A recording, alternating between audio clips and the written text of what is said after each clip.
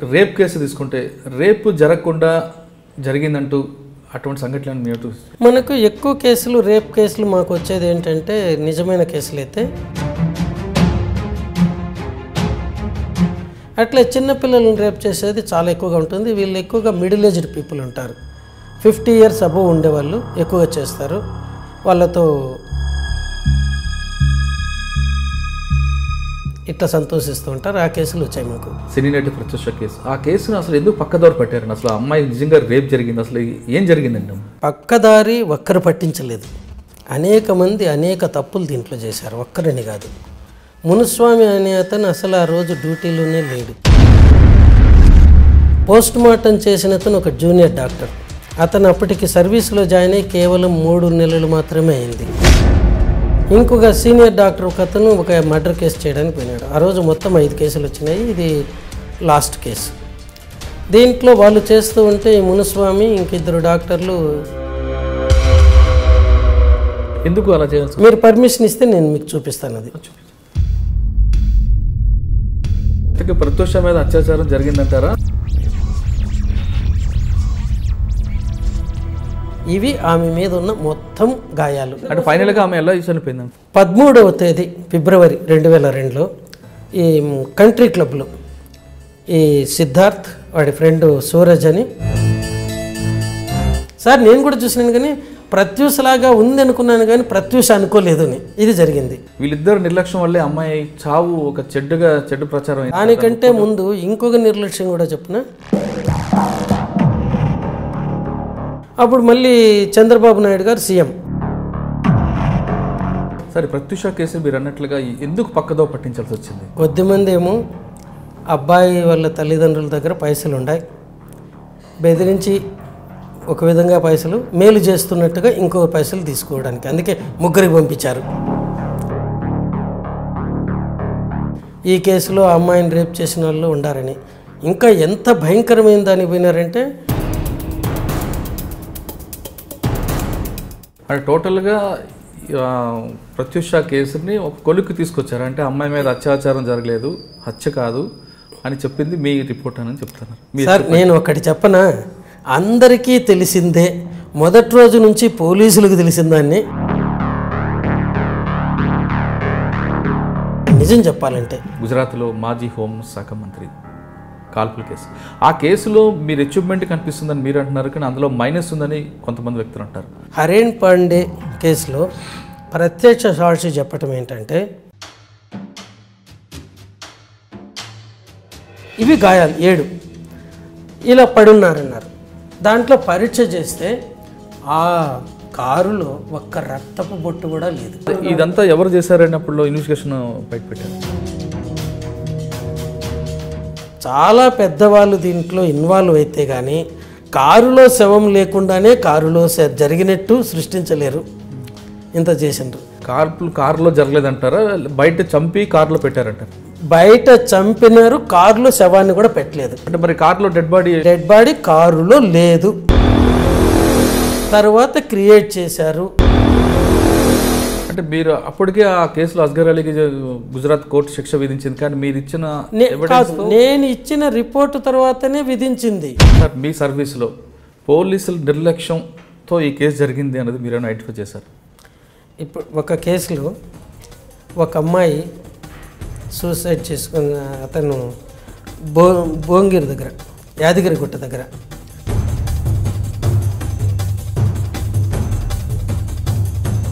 ఇక్ పదివేల కుసరం ఎంత భయంకరంగా ఉంటుందంటే సిచ్యువేషన్లో. ఇంక ఏడ్చుకుంటా అంటే తర్వాత మామూలుగా వేసవికాలంలో ఆరు బయట పడుకుంటారు. తల్లి కొడుకు పోయి బయట పడుకున్నారు. ఈమె లోపల ఏడ్చుకుంటూ అట్లే ఉన్నింది. ఓ. అంటే పేదవాడికి జరిగే అన్యాయం అలా ఉంటుంది. పైసలు ఉండేవాడికైతే వాడు నిజంగా చంపేసినా హ్యాంగింగ్ అయిపోతుంది. పేదవాడైతే ఏదైతే మనకెందుకు? అంటే అక్కడ మరి ఆయన ఎందుకు ఒప్పుకున్నాడు? ఇది? ఆ రోజు ఈమె ప- వీళ్ళు ఎక్కడో కూలి పని చేస్తుంటే సద్దన్నం తీసుకెళ్ళిందట తినడానికి. బాగలేదట కూర. అందరి ముందు భార్యను తిట్టాడు. తిడుతూ ఉంటే ఆమె గడ్డిమోపు మూసుకొని వస్తూ ఏడుస్తూ వస్తుందట.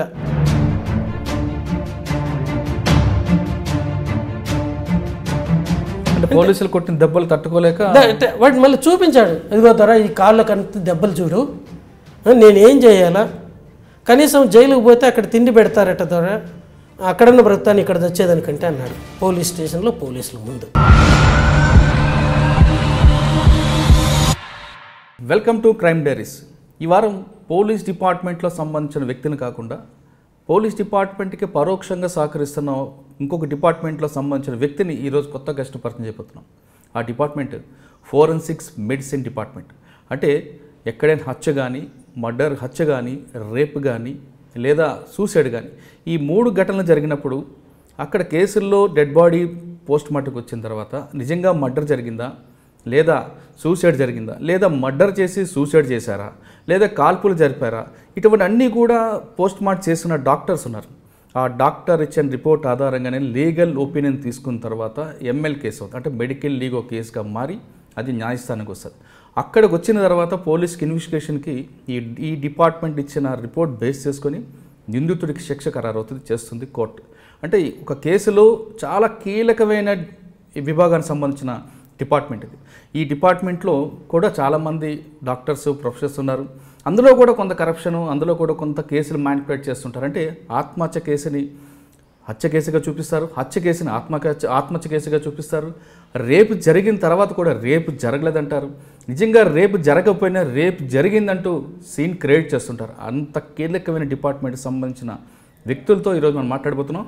ఈ ఈ డిపార్ట్మెంట్లో చాలా సీనియర్ ప్రొఫెసర్ ఉస్మానియా జనరల్ హాస్పిటల్లో ఈ ఉన్న డిపార్ట్మెంట్లో చాలా సీనియర్గా పనిచేస్తున్న ప్రిన్సిపాల్ ప్రస్తుతం నారాయణ రెడ్డి గారు మనతో ఉన్నారు. నారాయణ రెడ్డి గారు నమస్కారం. నమస్తే అండి.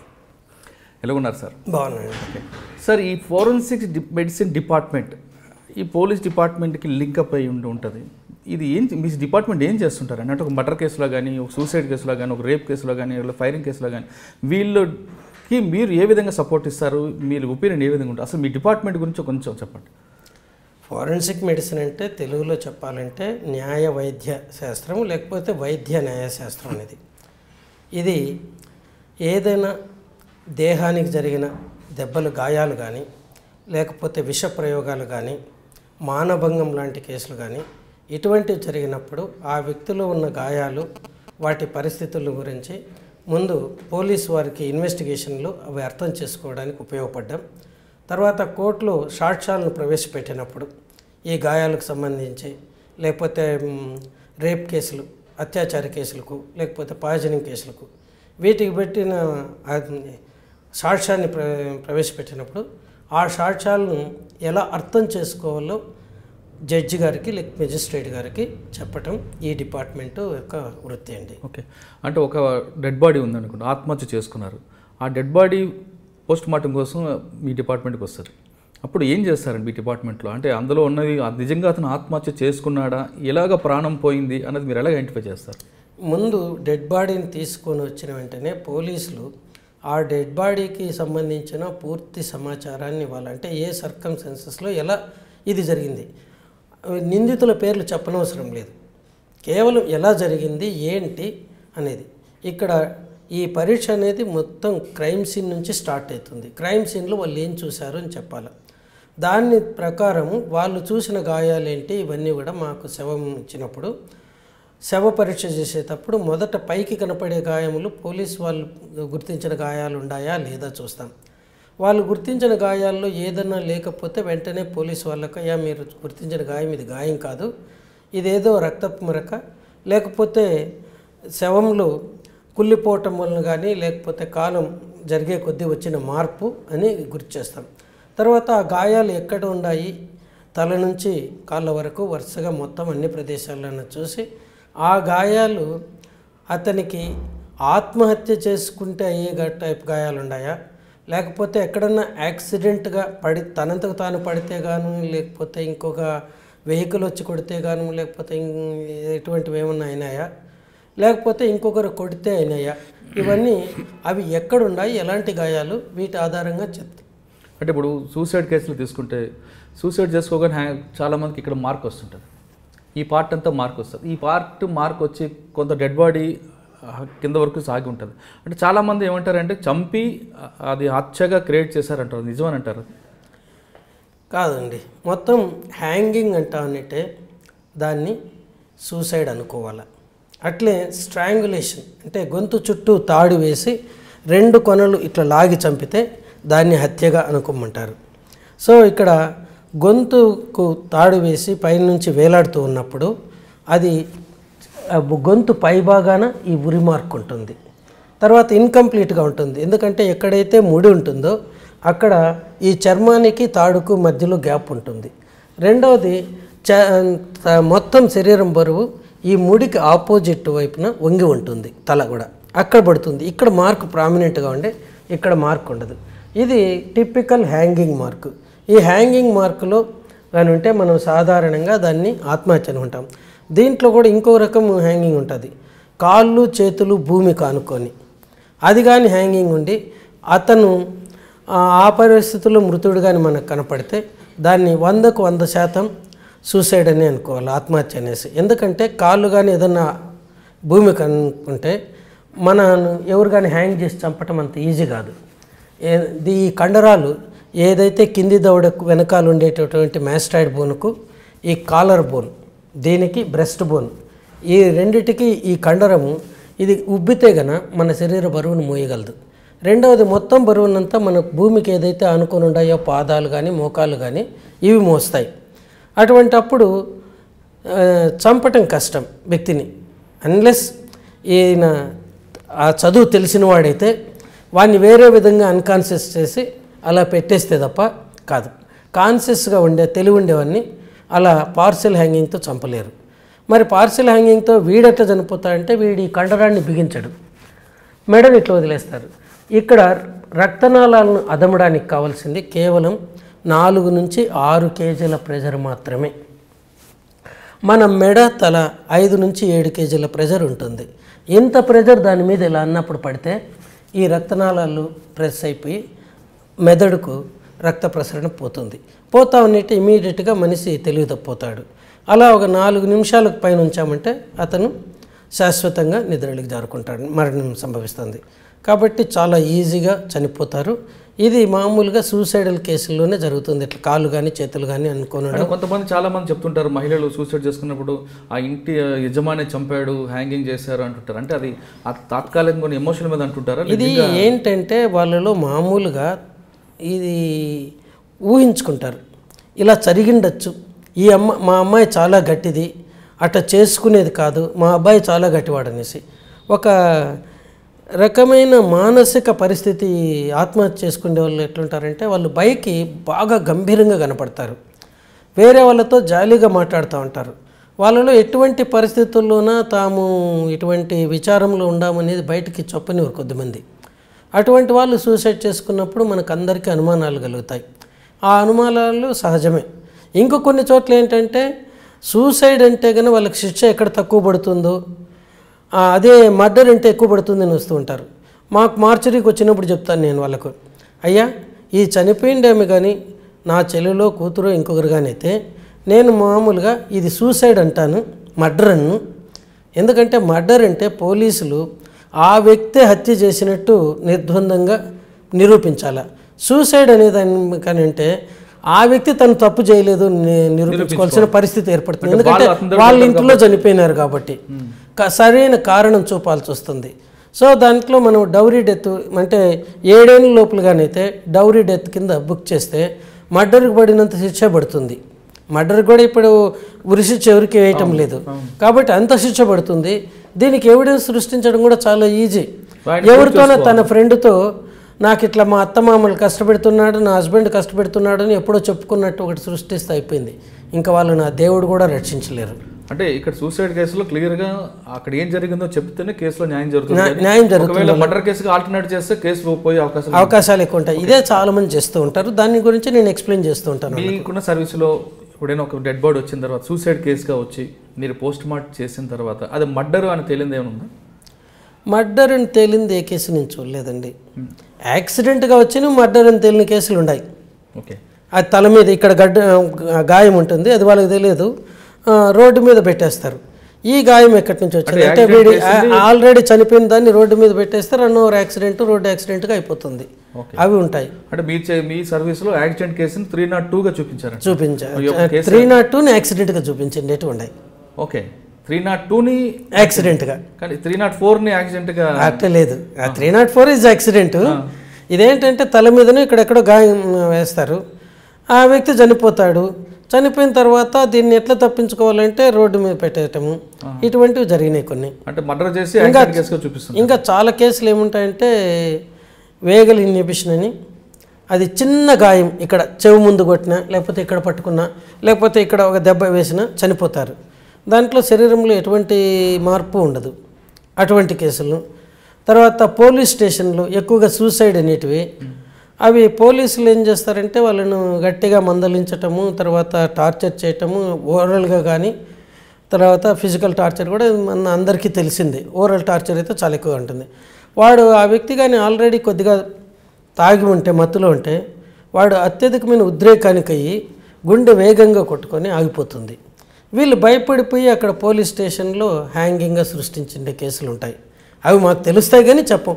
సో ఇక్కడ వీళ్ళు పోలీసులు తమ కొంపలు తామే ఉంచుకుంటూ ఉంటారు. దానికి బదులు నేను అడుగుతూ ఉన్నాను అతను ఇలా అయినాడు పడిపోయినాడు పో హాస్పిటల్ తీసుకొని వచ్చినామంటే అది కా ప్రజలంతా వీళ్ళని మర్డర్ చేసినారన్నా కాదు అనడానికి ఎటువంటి అవకాశం ఉండదు శవ పరీక్షలో కూడా.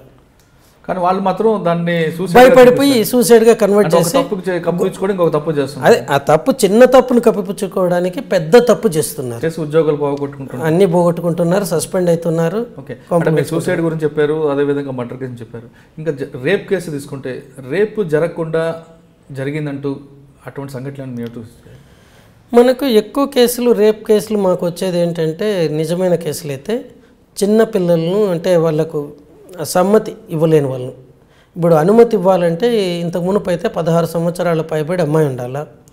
ఇప్పుడు అయితే పద్దెనిమిది సంవత్సరాలు ఉండాలా. ఆ అమ్మాయి పద్దెనిమిది సంవత్సరాల కంటే లోపలున్న ఆ అమ్మాయి అనుమతితో సెక్స్ జరిగిన కూడా అది రేపు కిందకే వస్తుంది. అట్లే చిన్నపిల్లలను రేపు రేప్ చేసేది చాలా ఎక్కువగా ఉంటుంది. వీళ్ళు ఎక్కువగా మిడిల్ ఏజ్డ్ పీపుల్ ఉంటారు. ఫిఫ్టీ ఇయర్స్ అబోవ్ ఉండేవాళ్ళు ఎక్కువగా చేస్తారు. వాళ్ళతో తమ మీద కూర్చోబెట్టుకొని అక్కడ యాక్చువల్గా అయితే సెక్స్ చేసేది చాలా తక్కువ. వాళ్ళతో వాళ్ళ జననేంద్రియాలతో ఆడుకోవటం ఎక్కువగా ఉంటుంది వాళ్ళు. లిక్ చేయటం లేకపోతే వాళ్ళ తొడల మధ్యలో చేయటం. జ ఎందుకంటే వాళ్ళకు తెలుసు జననేంద్రియంలోకి ఇది పంపితే అక్కడ గాయమవుతుంది. జననేంద్రియంలోకి పంపి ఇక్కడ రక్తం వచ్చేట్టుగా చీలికలు వచ్చేట్టుగా చేసేది ఏంటంటే ఈ చిన్నపిల్లలు యుక్త వయసులో ఉండేవాళ్ళు. వాళ్ళకి అవంత ఆలోచన ఉండదు. ఈ యాభై సంవత్సరాలు పైబడ్డ వాళ్ళు సాధారణంగా ఆ పిల్లలతో వాళ్ళ మానాన్ని ముట్టుకొని లేకపోతే అక్కడక్కడ ఎక్కడైతే తాకూడదో అక్కడ తాకుతూ కొద్దిమంది లిక్ చేస్తూ ఇట్లా సంతోషిస్తూ ఉంటారు. ఆ కేసులు వచ్చాయి మాకు. జనరల్గా ఆ టైప్ ఆఫ్ కేసులు ఎన్ని ఉంటుంటాయి? చాలానే వస్తూ ఉంటాయండి. నిజంగా కేసులు అటు సరే అవి నిజంగానే జరుగుతాయి. ఎస్పెషల్లీ ఇవన్నీ జరిగేది ఎక్కడంటే ఈ చిన్న చిన్న గుడిసెల్లో ఉండే వాళ్ళకు తల్లిదండ్రులు పిల్లలను ఇంటి దగ్గర వదిలేసి చిన్న పనులు చేసుకొని పోతూ ఉంటారు. ఆ పక్కనే ఇంకోడు ఎవడో ఉంటాడు వాళ్ళ దగ్గర పోతారు చాక్లెట్స్ ఇచ్చి రమ్మనేది కూడా ఉంటుంది. అటువంటి కేసులు కూడా వస్తున్నాయి. అంటే ఈ కేసులన్నింటిలో కూడా మీరు మీ రిపోర్ట్ ఆధారంగానే వాడికి శిక్ష పడే అవకాశం వాళ్ళు అంటే మా దగ్గర తీసుకొని వస్తారు అది జరిగి ఉంటుంది జరగలేదు అని చెప్పాలంటే ఒకటిగా అయితే ఎక్కువ కాలం దీనిలో ఈ కేసులు ఏంటంటే చాలా లేట్గా తీసుకొని వస్తారు. అక్కడంతా అమ్మాయి స్నానం చేసిన తర్వాత అది అసలు పోలీసుల దగ్గరికి పోవాలన్నా వద్దా పోలీసుల దగ్గర పోవాలా వద్దా అంటూ లేట్ చేస్తారు. అందువల్ల ఈ అత్యాచారం కేసుల్లో వాళ్ళు ఏమాత్రం డిలే చేసినా కూడా ఉన్న ఎవిడెన్స్ మొత్తం వెళ్ళిపోతుంది. ఇంకా చేయగలిగేది ఏమీ లేదు. ఊరికే సర్కమ్స్టాన్షియల్ ఎవిడెన్స్ వలన అదర్ విట్నెస్లను పట్టుకొని చేయాల్సిందే కానీ మెడికల్గా ఏమైనా గాయం ఉంటే తప్ప చేయలేం. అంటే పోలీస్ డిపార్ట్మెంట్కి ఇటు మీరు చెప్పిన రేప్ కేసులో కానీ మర్డర్ కేసులో కానీ ప్లస్ వన్ సెవెంటీ ఫోర్లో కానీ వాడికి శిక్ష పడాలంటే ఖచ్చితంగా మీ మీ డిపార్ట్మెంట్ యొక్క సాక్ష్యం చాలా కీలకంగా ఉంటుంది. అది చాలా స్పష్టంగా చెప్తున్నారు. అయితే ఇప్పుడు వరకు మనం చూసిన ఫోరెన్సిక్స్ మెడిసిన్ డిపార్ట్మెంట్ అంటే ఒక నిందితుడికి శిక్ష పడాలంటే ఖచ్చితంగా ఈ డిపార్ట్మెంట్ యొక్క రిపోర్ట్ చాలా క్లియర్గా ఉంటుంది. అంత కీలకమైన డిపార్ట్మెంట్లో కూడా కొంతమంది వ్యక్తుల వల్ల ఆ డిపార్ట్మెంట్ చెడ్డ పేరు వచ్చింది. ఇప్పుడు వరకు తీసుకున్న విషయాలు తీసుకుంటే సినీ నటి ప్రత్యూష కేసు. ఆ కేసులో అప్పట్లో చాలా కీలకమైన కొంతమంది వ్యక్తులు అదే ఫోరెన్సిక్స్ మెడిసిన్ డిపార్ట్మెంట్ కొంత వ్యక్తి రాంగ్ రిపోర్ట్ ఇవ్వడం వల్ల ఆ కేసు పక్కదోర పట్టింది. అదేవిధంగా కొన్ని కొన్ని కేసులు ఉన్నాయి ఆ కేసులు ఎలా జరిగాయి? సినీ నటి ప్రత్యూషపై నిజంగా అత్యాచారం జరిగిందా లేదా? అదేవిధంగా గతంలో జరిగిన ఎన్కౌంటర్లో నిజంగా ఎన్కౌంటర్లా ఫేక్ ఎన్కౌంటర్లా? ఈ ఈ- విషయాలపైన మనతో మాట్లాడడానికి నరసింహ నారాయణ రెడ్డి గారు చెప్పే ముందు అసలు నారాయణ రెడ్డి గారు ఈ డిపార్ట్మెంట్లోకి ఎందుకు వచ్చారు అన్నది ఒకసారి ఆయన జర్నీ గురించి చూడదాం. సార్ చెప్పండి. ఈ డిపార్ట్మెంట్లోకి మీరు ఎలా రావాల్సి వచ్చింది? మీ సర్వీస్ ఎలా స్టార్ట్ అయింది? నిజం చెప్పాలంటే నాకు మెడిసిన్ చేయటం ఇష్టం లేకుండా ఉన్నిందండి. ఇంజనీరింగ్ చేయాలని ఉంది. మేము ఎస్ఎస్ఎల్సి అప్పుడు ఎలవెంత్ క్లాస్ అయిపోయిన తర్వాత పీయూసీలో చేరాలంటే మా అన్న మా పెద్దన్న ఎంపీసీ గ్రూప్ వద్దు జెడ్పీసీ చైర్మన్. అప్పుడు ఏంటంటే ఇంజనీర్లు అంతా రోడ్డు మీద ఉన్నారు. నాగార్జున సాగర్ కన్ కన్స్ట్రక్షన్ పూర్తయిపోయి. అప్పుడు మనకు తెలిసిన ఇంజనీరింగ్ అంతా సివిల్ ఇంజనీరింగ్ ఏదో మెకానికల్ ఇంజనీరింగ్ తప్ప మిగతా ఇవేవి తెలియదు దాని గురించి. సో దీంట్లో చేర్పించారు. ఆ తర్వాత కూడా ఏదో ఇక్కడికి వచ్చిన తర్వాత కూడా నాకు వైద్య వృత్తి మీద పెద్దగా ఇంట్రెస్ట్ ఉండేది కాదు. ఎప్పుడు ఏదన్నా టీచర్గా ఉండాలని కానీ లేకపోతే ఇంజనీరింగ్ అనుకునేవాడిని ఈ మధ్యలో ప్రైమరీ హెల్త్ సెంటర్లో జాబ్ కూడా వచ్చింది ఒకసారి. మే ఐదేళ్ళు ఖాళీగా ఉన్నాను ఎంబీబీఎస్ అయిపోయిన తర్వాత చిన్న చిన్న ఉద్యోగాలు చేస్తూ. తర్వాత పీజీ కోర్స్ చేస్తే అప్పుడు ఫారెన్సిక్ మెడిసిన్ వచ్చింది. ఫారెన్సిక్ మెడిసిన్ ఎందుకు తీసుకున్నానంటే ఇక్కడ పీజీ కోర్సులో మాకు కృష్ణన్ గారని ఒక ఫారెన్సిక్ మెడిసిన్ ప్రొఫెసర్ తిరుపతిలో ఉండేవారు. వారికి మొత్తం తిరుపతి టౌన్లోనే ఆయన అంటే ఒక పెద్ద రెస్పెక్ట్ ఉండేది.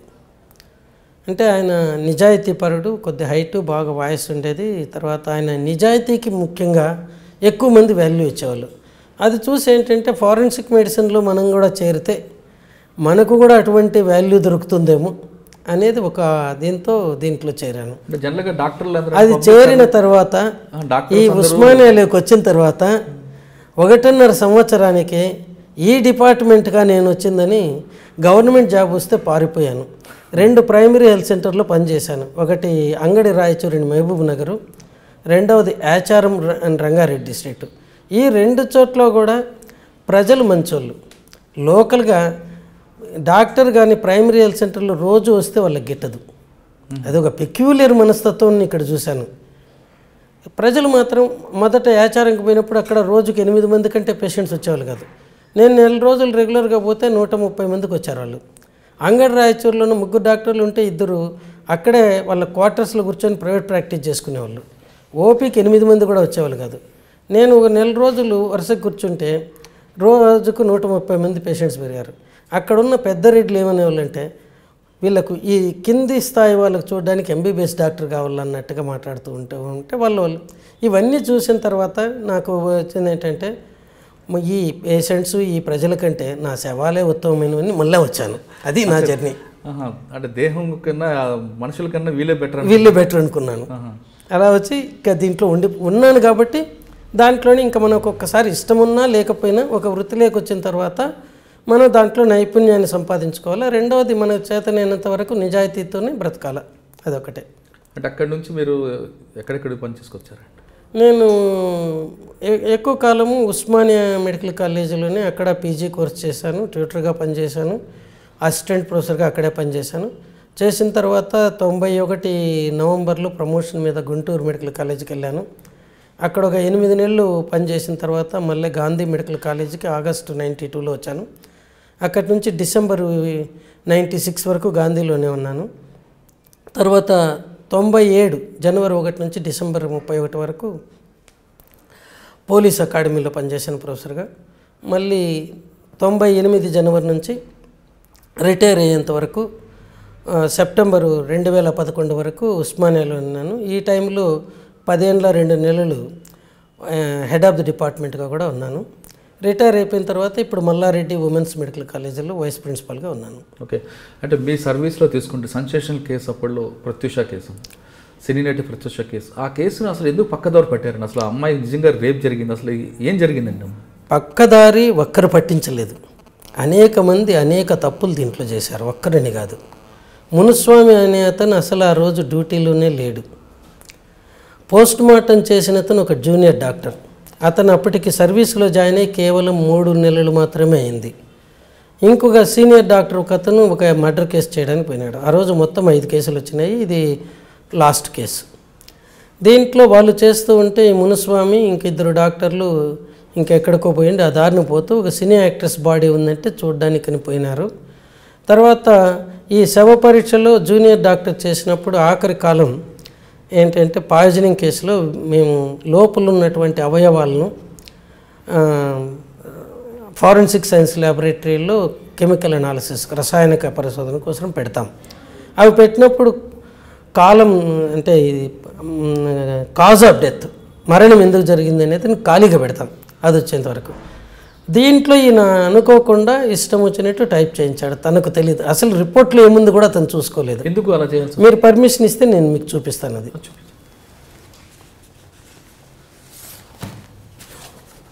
అంటే అతనికి ఎందుకు అనేది ఏం లేదండి. తనకు సబ్జెక్ట్ మీద పటుత్వం లేదు. అంటే అప్పుడు తర్వాత ఇవి చదువుకోవటం కూడా రాదు. దీంట్లో ఏముంది కూడా చూసుకోలేదు ఈ రిపోర్ట్ ఏమని ఇచ్చారండి? రిపోర్ట్లో వాళ్ళు ఇచ్చింది ఈ కాలం ఖాళీగా పెట్టారు. ఈ ఖాళీగా పెట్టిన కాలాన్ని ప్రెజర్ ఓవర్ ద నెక్ మెడ పిసికారు.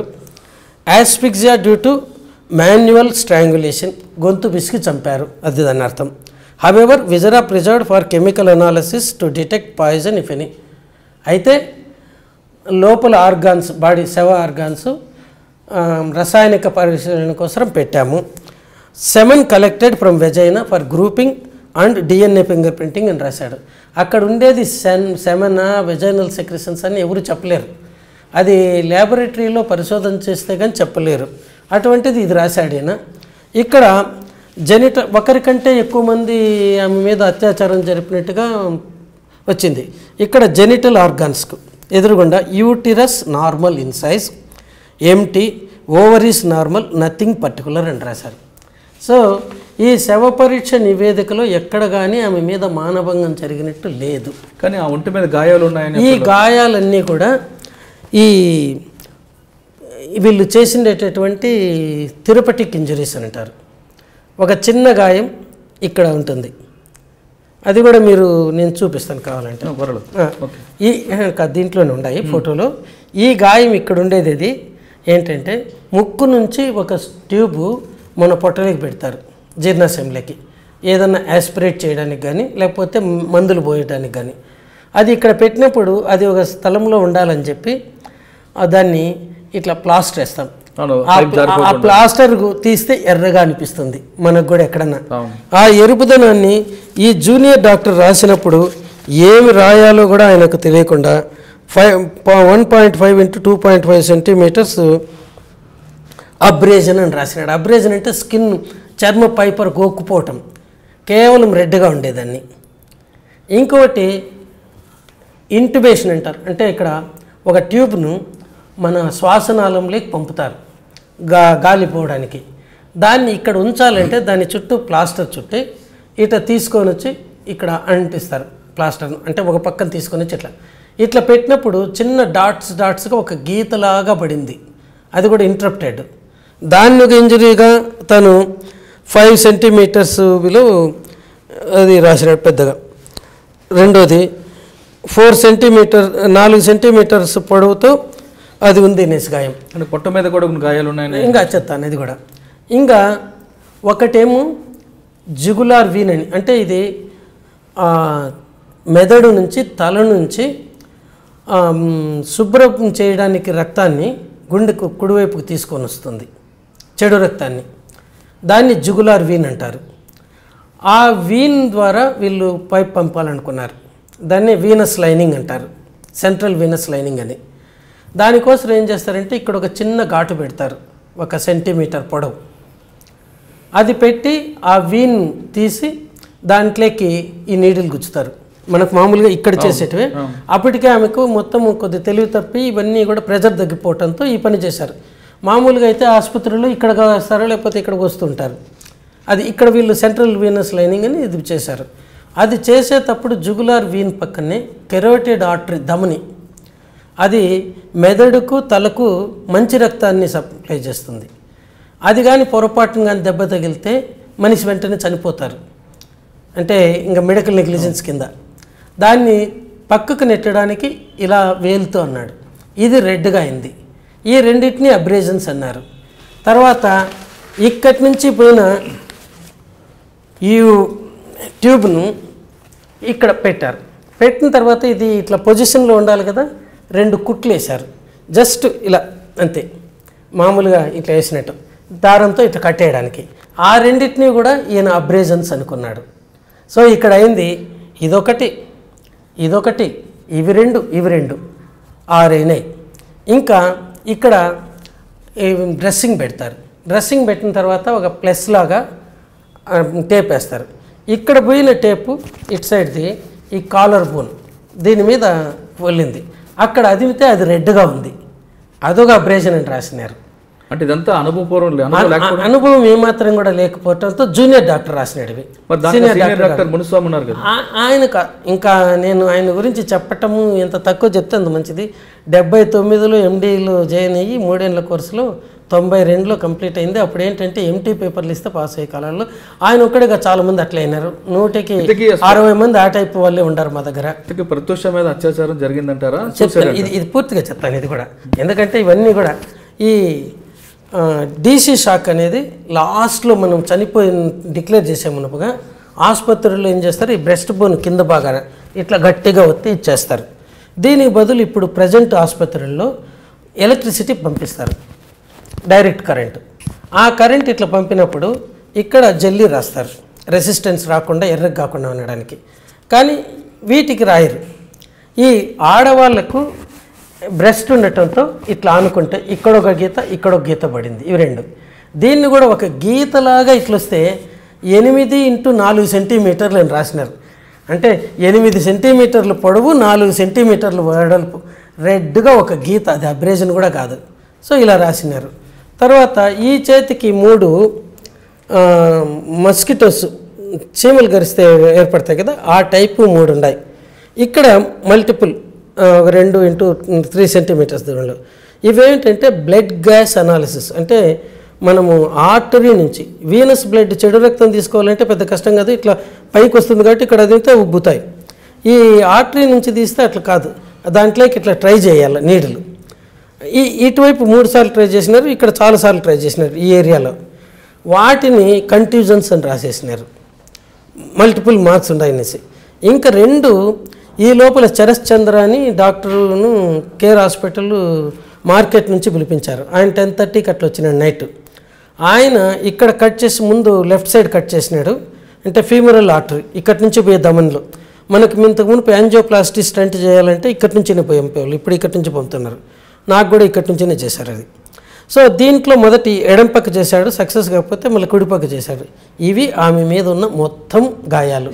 ఒక్కటి కానీ అబ్రేజన్ లేదు కంట్యూజన్ లేదు కేవలం తిరుపతికి గాయాలు చిన్న చిన్నవి. ఇది ఒక్కటి కొద్ది కట్ చేసింది. ఇవి రెండు దీన్ని కాల్చినవి. ఇవి రెండు ఇంజెక్షన్ డాక్టర్కి ఎక్స్పీరియన్స్ లేకపోవడం చిన్న కింద డాక్టర్కి ఎక్స్పీరియన్స్ లేకపోవడంతో అది ఫస్ట్ కావడంతో అమ్మాయి కేసు అందుకోసం దీంట్లోనే మేము ఒకటి ఏంటంటే a photo one photo is more than enough for one thousand words అంటాం. లేకపోతే నేను నాకు కూడా వాళ్ళు కానీ ఆ అబ్బాయి ఫోటోలు తీయించారు కాబట్టి వానికి థ్యాంక్స్ చెప్పాలా? ఆ చిన్న జూనియర్ డాక్టర్కు. ఫోటో కానీ తీయకపోతే? అవనేమో నాలుగు సెంటీమీటర్ల పొడవు ఇవన్నీ కంట్యూజన్స్ ఏమో అని అనుకునేవాడిని. ఆ అమ్మాయి చనిపోవటము విషం సేవించటం వల్ల. ఇద్దరూ కూడా పంతొమ్మిది వందల తొంభై మూడు తొంభై ఆరు మధ్యలో ఇక్కడ గౌతమి జూనియర్ కాలేజ్ సంజీవ్ రెడ్డి నగర్లో ఇంటర్మీడియట్ చేసేవాళ్ళు. ఇంటర్మీడియట్ తర్వాత అమ్మాయి హోటల్ మేనేజ్మెంట్ కోర్సులు చేరింది. అబ్బాయి వాసవి ఇంజనీరింగ్ కాలేజీలో ఇంజనీరింగ్ చదువుతున్నాడు ఈ అబ్బాయి వాళ్ళ ఇంటికి అప్పుడప్పుడు అమ్మాయికి అవసరం పోయేవాడు. అమ్మాయి వీళ్ళిద్దరు కలిసి తిరిగేవాళ్ళు. వాళ్ళ తల్లిని కూడా రెండుసార్లు భువనగిరిలో ఒకసారి బొమ్మల రామారాం అనే చోట ఆమె పనిచేసే చోట కూడా వదిలినట్టు ఆమె తన సమాధానం చెప్పింది కోర్టులో. అంటే తన ఇచ్చే సాక్ష్యంలో. ఇది వీళ్ళిద్దరూ ముందు ఫ్రెండ్స్ అనుకున్నారు. ఒక తొమ్మిది నెలలు సుమారు తొమ్మిది నెలల ముందు వీళ్ళిద్దరి మధ్యలో ఏదో నడుస్తూ ఉంది అనే అనుమానం తల్లికి జరిగితే ఆమె నిలదీసి అడిగింది. అడిగితే అమ్మాయి అవును ఆ అబ్బాయిని ప్రేమిస్తున్నాను. ఆ అబ్బాయిని పెళ్ళి చేసుకుంటానంటే ఒక నెల రోజులు చెప్పి చూసింది. వద్దమ్మా నువ్వు నీ ఇప్పుడిప్పుడే పైకి వస్తున్నావు కెరీర్ స్టార్ట్ కెరీర్ పాడు చేసుకోకు అనేసి. తర్వాత వాళ్ళ మేనమామ కూడా అంటే ఈ ప్రత్యూష వాళ్ళ అమ్మ అన్న ఆయన కూడా చెప్పినాడు. ముందు వాళ్ళ తల్లిదండ్రులతో మాట్లాడండి వాళ్ళ తల్లిదండ్రులకు మాత్రం అమ్మాయి చనిపోకమును ఒకటి రెండు నెలల ముందే జరి తెలిసింది. తెలిసిన తర్వాత అబ్బాయి దగ్గర ఉన్న మొబైల్ ఫోన్ లాగేసుకొని వాడి మీద రెస్ట్రిక్షన్స్ పెట్టాడు. అప్పుడు ఈ అమ్మాయి ఎప్పుడన్నా అబ్బాయిని కలవాలనుకుంటే వాళ్ళ ఫ్రెండ్ ఒకరికి ఆయన మొబైల్ ద్వారా కాంటాక్ట్ చేసేది. అట్లే సిద్ధార్థ్ కావాలనుకుంటే ఫ్రెండ్ దగ్గరికి ట్యూషన్ అనేది కంబైన్ స్టడీకి పోతున్నాను ఇట్లా. ఈ క్రమంలో ఈ సిద్ధార్థ్ ఇంటిలో గొడవ ఎక్కువైతా ఉంది రోజు రోజుకు. పదమూడవ తేదీ ఫిబ్రవరి రెండు వేల రెండులో ఈ కంట్రీ క్లబ్లో ఈ సిద్ధార్థ్ వాడి ఫ్రెండ్ సూరజ్ అని వాళ్ళ కజిన్ అట ఆ అమ్మాయి ఆ అమ్మాయి మేనమ్మ కూతురు ప్రఫుల్ల సిరి పది గంటలప్పుడు ఉదయం పది పదిన్నర మధ్యలో కలిసి ఒక నిర్ణయానికి వచ్చారు. ఇప్పుడు ఈ అబ్బాయి ఇంట్లో చాలా తీవ్రంగా ఈ మనస్పర్ధలు ఉన్నాయి కాబట్టి వీళ్ళిద్దరూ ఒకరితో ఒకరు మాట్లాడుకోవడానికి కానీ ప్రయత్నం చేయకూడదు. ఈవెన్ ఫోన్లో కూడా దూరం దూరంగా ఉండాలా? మేలో ఆ అబ్బాయికి ఇంజనీరింగ్ అయిపోయిన వెంటనే ఆ అబ్బాయి తల్లిదండ్రులు కానీ ఒప్పుకోకపోతే వీళ్ళు రిజిస్టర్ మ్యారేజ్ చేసుకునేట్టుగా. తర్వాత పద్నాలుగవ తేదీ ఫిబ్రవరి ఆ రోజు ఈ అమ్మాయి చాలా ఆశగా చూసింది. అబ్బాయి నుంచి ఫోన్ కాల్ కోసరం. అదే సమయంలో అబ్బాయి చుట్టూ చాలా గట్టి కాపలా పెట్టారు. సో ఆ అమ్మాయి కొద్ది డిప్రెషన్ లేకపోయింది ఆ రోజు ఫోన్ రాకపోతే. మళ్ళీ ఇరవై మూడవ తేదీ అది శనివారం అదే ఫిబ్రవరి నెలలో రెండు వేల రెండు. తొమ్మిది గంటల ప్రాంతంలో అబ్బాయి ఫోన్ చేసి మా ఇంట్లో ఎవరు ఒప్పుకోవటం లేదు మా అమ్మ ససేమర ఒప్పుకోవటం లేదు మనం కానీ పెళ్ళి చేసుకుంటే ఇంటిల్ల పాది పాయిజన్ తీసుకొని చనిపోతామంటున్నారు అని దాంతో ఈ అమ్మాయి అర్ధ గంట సేపు వాడి మీద ఫోన్లోనే ఎగిరిందట గట్టిగా మాట్లాడుతూ ఉన్నింది మాట్లాడుతూ ఉంటే తల్లి అడిగితే ఏంటంటే ఇదట వాళ్ళ ఇంట్లో ఒప్పుకోవటం లేదట అది ఇది అంటే కూల్ డౌన్ కా కొద్ది టైం ఇవ్వు వాళ్ళు కూడా సర్దుకోవడానికి. ఇప్పుడిప్పుడే కదా తెలిసింది నీ తల్లి చెప్పింది. ఆ తర్వాత సాయంకాలము నాలుగు గంటల ప్రాంతంలో హెయిర్ డ్రెస్సింగ్కి పోతానని ఇక్కడ ferry beauty parlour Rajiv Gandhi సర్కిల్కి వచ్చింది. వీళ్ళు ఉండేదేమో తార్నాకాలో.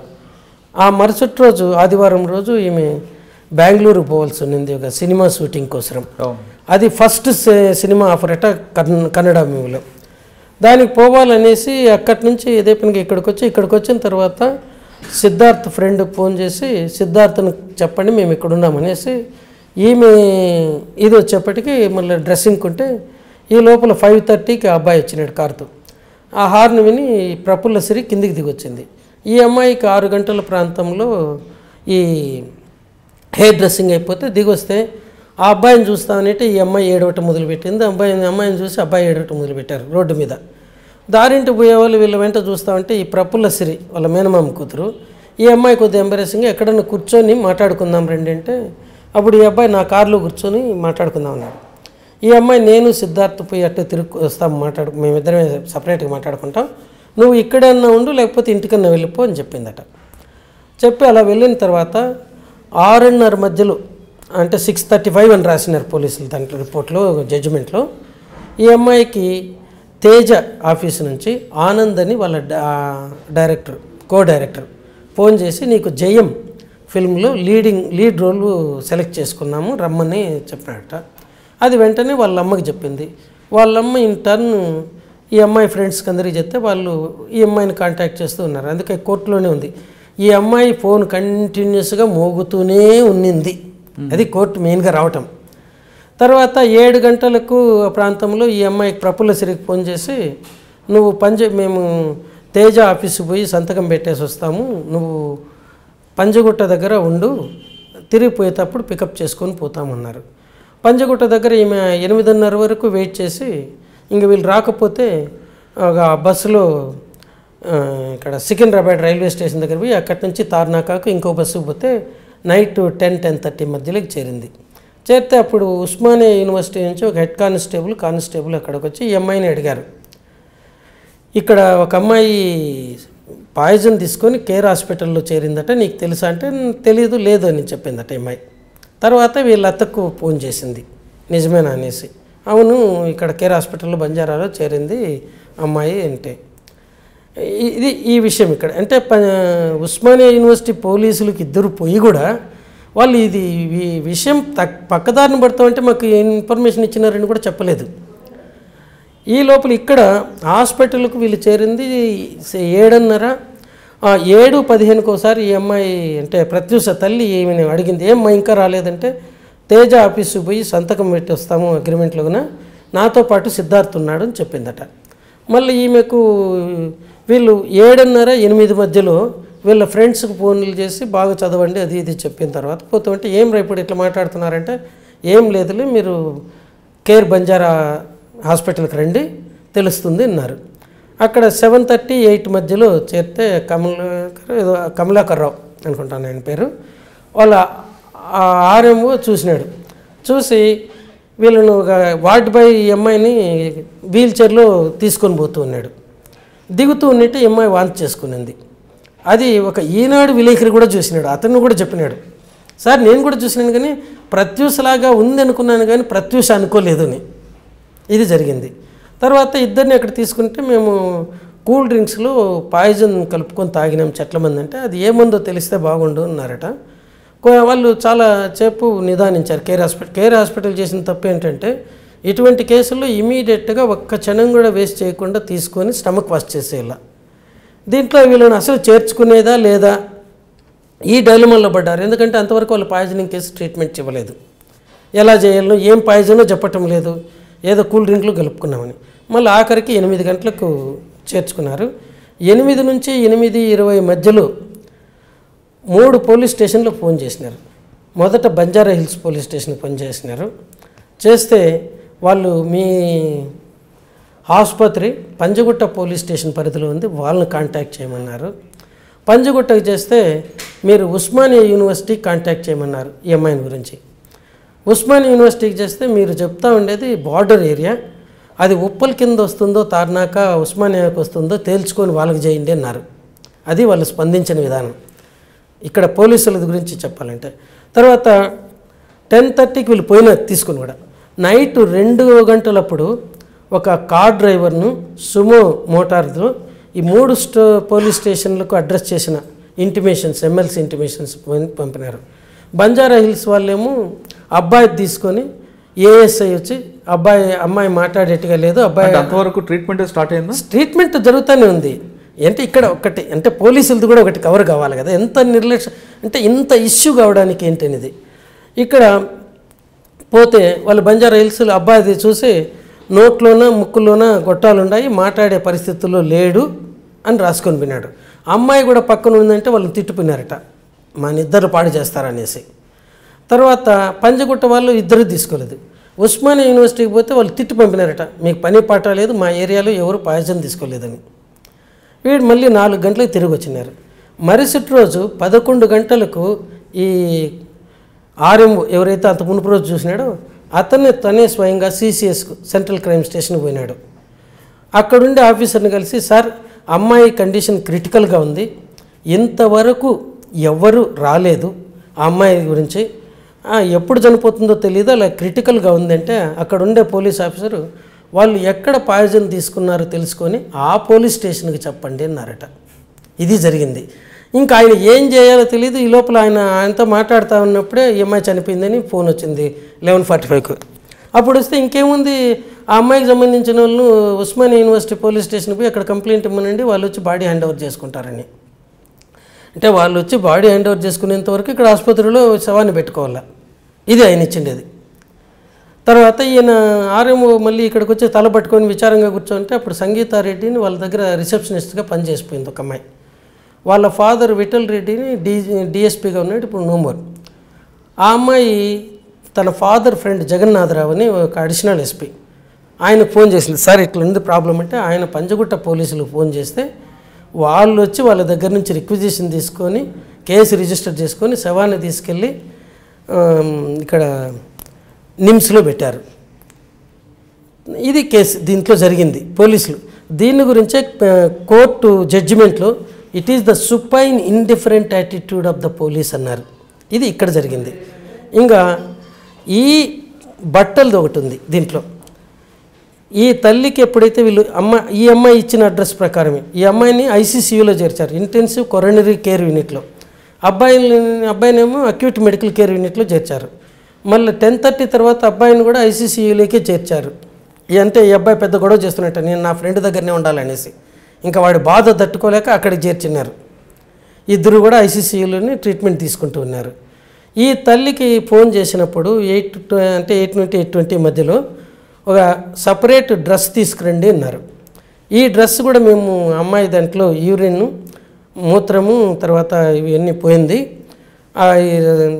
కొద్ది టైట్గా ఉంటే కట్ చేసి తీసేసాము. మీరు అమ్మాయికి వేయడానికి వేరే డ్రెస్ తీసుకొట్టమని అది డ్రెస్ విషయంలో. తర్వాత టె- ఈ అమ్మాయి మూర్చలేకపోయిన తర్వాత మళ్ళీ రివైవ్ చేసినారు. ఇవన్నీ ట్రై చేస్తున్నారు. ఈ లోపల వీళ్ళకు ఈ ఆర్టీరియల్ లైనింగ్ ఇవ్వటం రాదు. చరస్ చంద్ర అని ఇంకో డాక్టర్ ఆయన పల్మనాలజిస్ట్. కేర్ హాస్పిటల్ బంజారా ఇది మార్కెట్ దగ్గర ఉంటాడు. అతన్ని పిలిపిస్తే ఈయన ఇది పెట్టాడు. ఇది జరిగింది. మళ్ళీ నెక్స్ట్ డే ఆ అమ్మాయి పదకొండు నలభై ఐదు చనిపోయింది. అంటే పద్నాలుగు గంటల నలభై ఐదు నిమిషాలు ఆసుపత్రిలో బ్రతికుంది. ఇవి జరిగింది. ఈ తల్లి కూడా ఒక స్టేట్మెంట్ పదమూడవ తేదీ మార్చి రెండు వేల రెండులో మీడియాకి ఇచ్చింది. నేను నేను పోయిన వెంటనే వాళ్ళు నన్ను రానివ్వలేదు.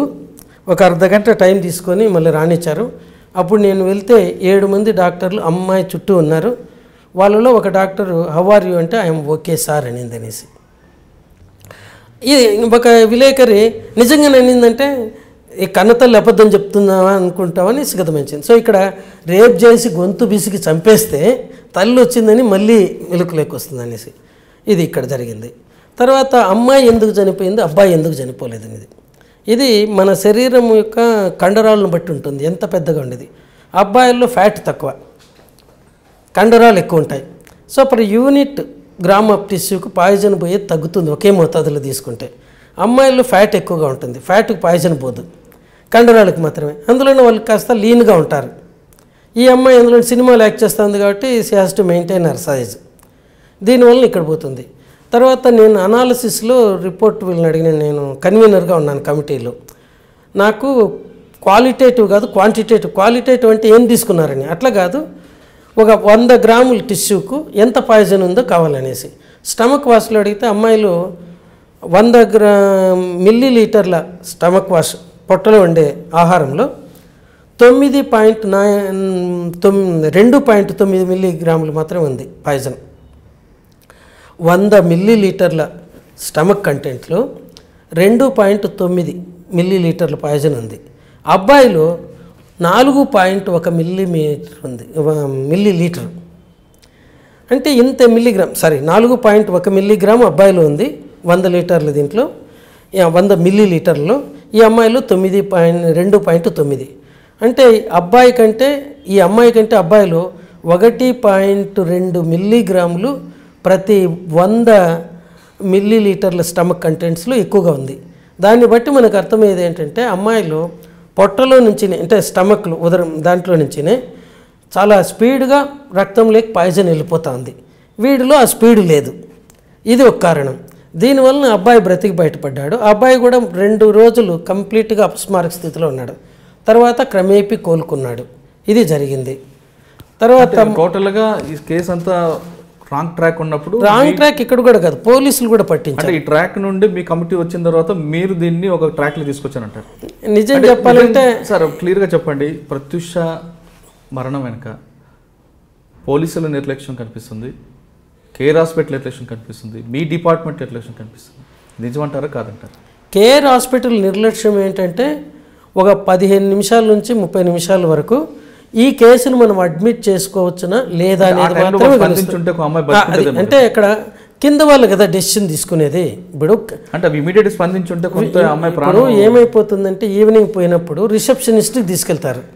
ఈ టైప్ కేసులకు వాళ్ళు ట్రీట్మెంట్ ఇవ్వటం లేదు.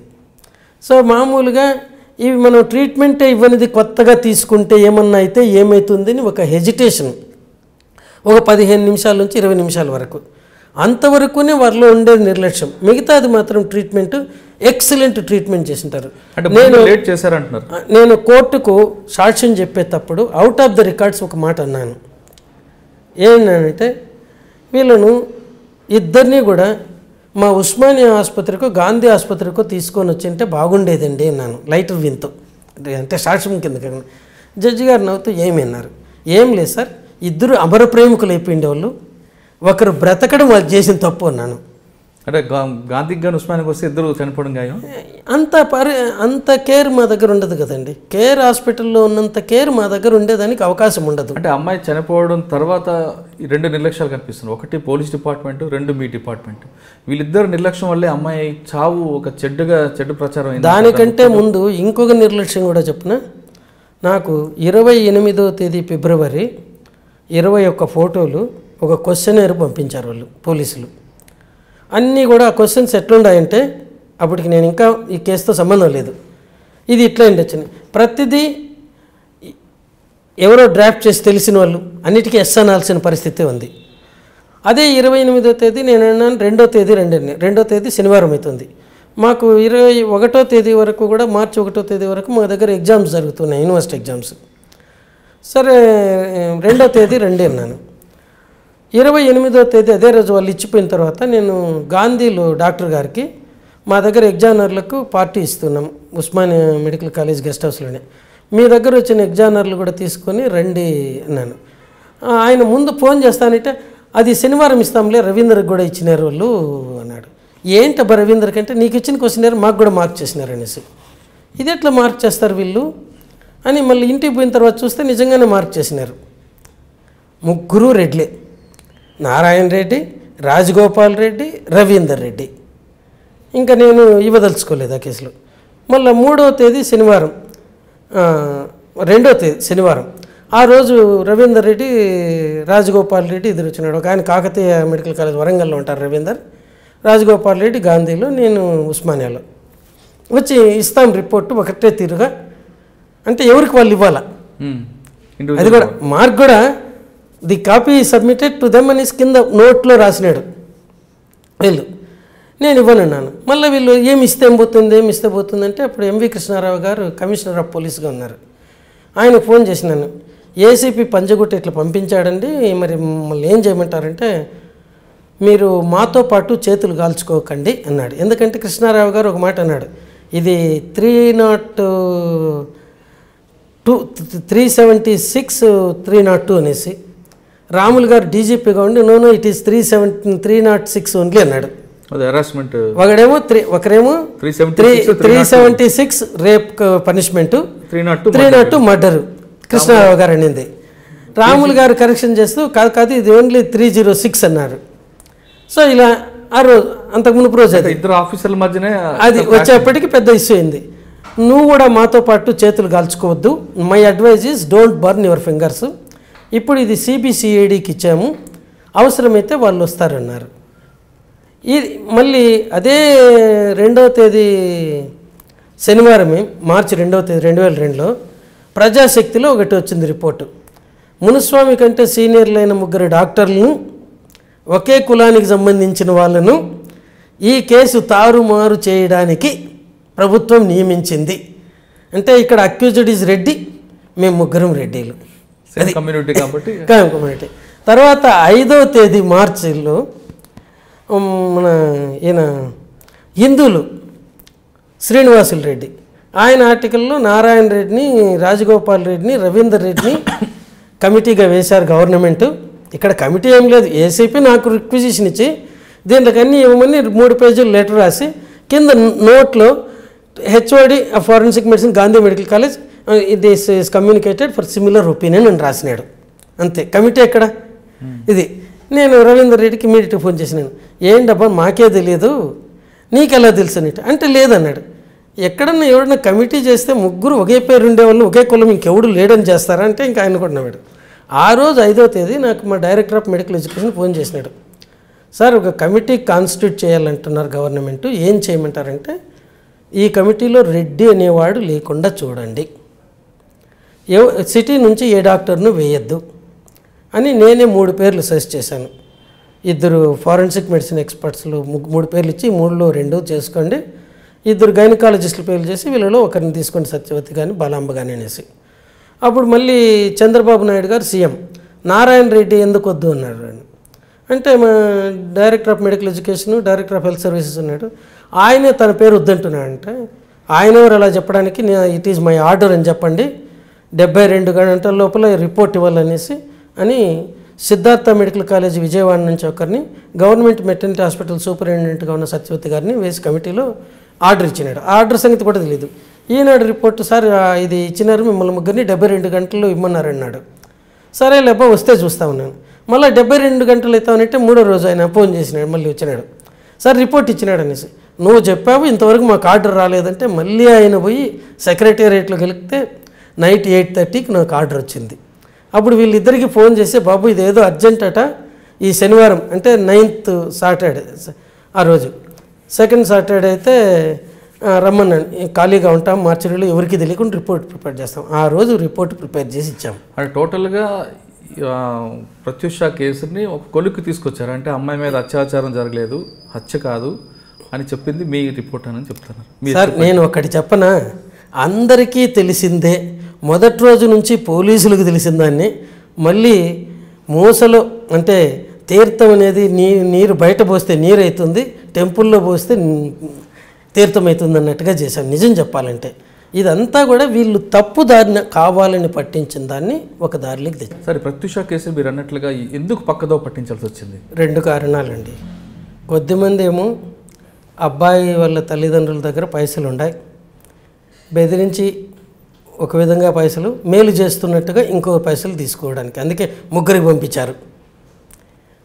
ఆయన ఇది అంటే దాని నుంచి బయటపడేయడానికి పైసలు కావాలా? అట్లా పంపించారు. అదొకటి. ఇంకొకటి దీన్ని ఎవరు ఉపయోగించుకొని అనేక మంది పెద్దవాళ్ళ పిల్లలను దీంట్లోకి లాగడానికి ప్రయత్నించారు. రాములు గారు డీజీపీ రాములు గారి కొడుకుండాడని సోమరాజు గారి కొడుకుండాడని దేవేంద్ర గౌడ్ గారి కొడుకుండాడని ఇట్లా అనేక మంది పిల్లలను ఈ కేసులో అమ్మాయిని రేప్ చేసిన వాళ్ళు ఉండారని. ఇంకా ఎంత భయంకరమైన దానికి పోయినారంటే హిమయత్ నగర్ తీసుకెళ్ళి ఆమెను గొంతు పిసికి రేప్ చేసి మళ్ళీ కేర్ హాస్పిటల్కి తీసుకొని వస్తూ మధ్యలో మళ్ళీ ఇంకో చోటుకు రేప్ చేసి తీసుకొని వచ్చినారని కూడా చేశారు. అంటే ఒక అసత్యాన్ని ప్రచారం చేయడానికి ఏ హద్దులు లేనట్టుగా ప్రవర్తించారు.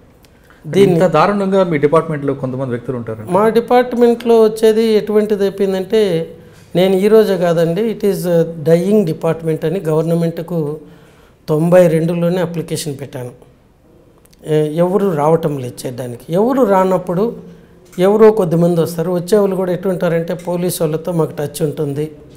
మాకు ఏమన్నా డ్రింక్స్ కావాలంటే సప్లై చేస్తారు సినిమా టికెట్ కావాలంటే ఇటువంటి వాళ్ళు కూడా కొద్దిమంది వస్తుంటారు. అందరూ కాదు కొద్దిమంది. కానీ మీ డిపార్ట్మెంట్లో మీరు అన్నట్లుగా చాలా భయంకరమైన కరప్షన్ కనిపిస్తుంటుంది. అటు నేను ప్రత్యక్షంగా చూసా ఒక డెడ్ బాడీ పోస్ట్ మార్టం చేయాలంటే ఒక బాటిల్ తీసుకొని పోస్ట్ మార్టం చేసే వాళ్ళు కూడా చాలా మంది ఉన్నారు. అది ఎంతవరకు వస్తాం అది నిజంగానే కొన్ని చోట్ల వాస్తవంగా జరుగుతుంది. కొన్ని చోట్ల అంటే ఉస్మానియాలో మామూలుగా జరగటం లేదు.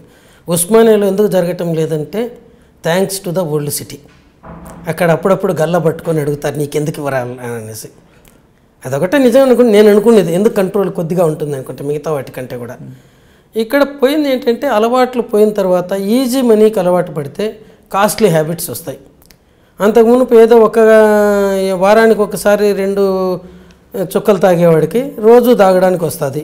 ఇట్లా వాళ్ళు అలవాటు వ్యసనాలకు బానిసలు కొద్దిమంది ఉంటున్నారు.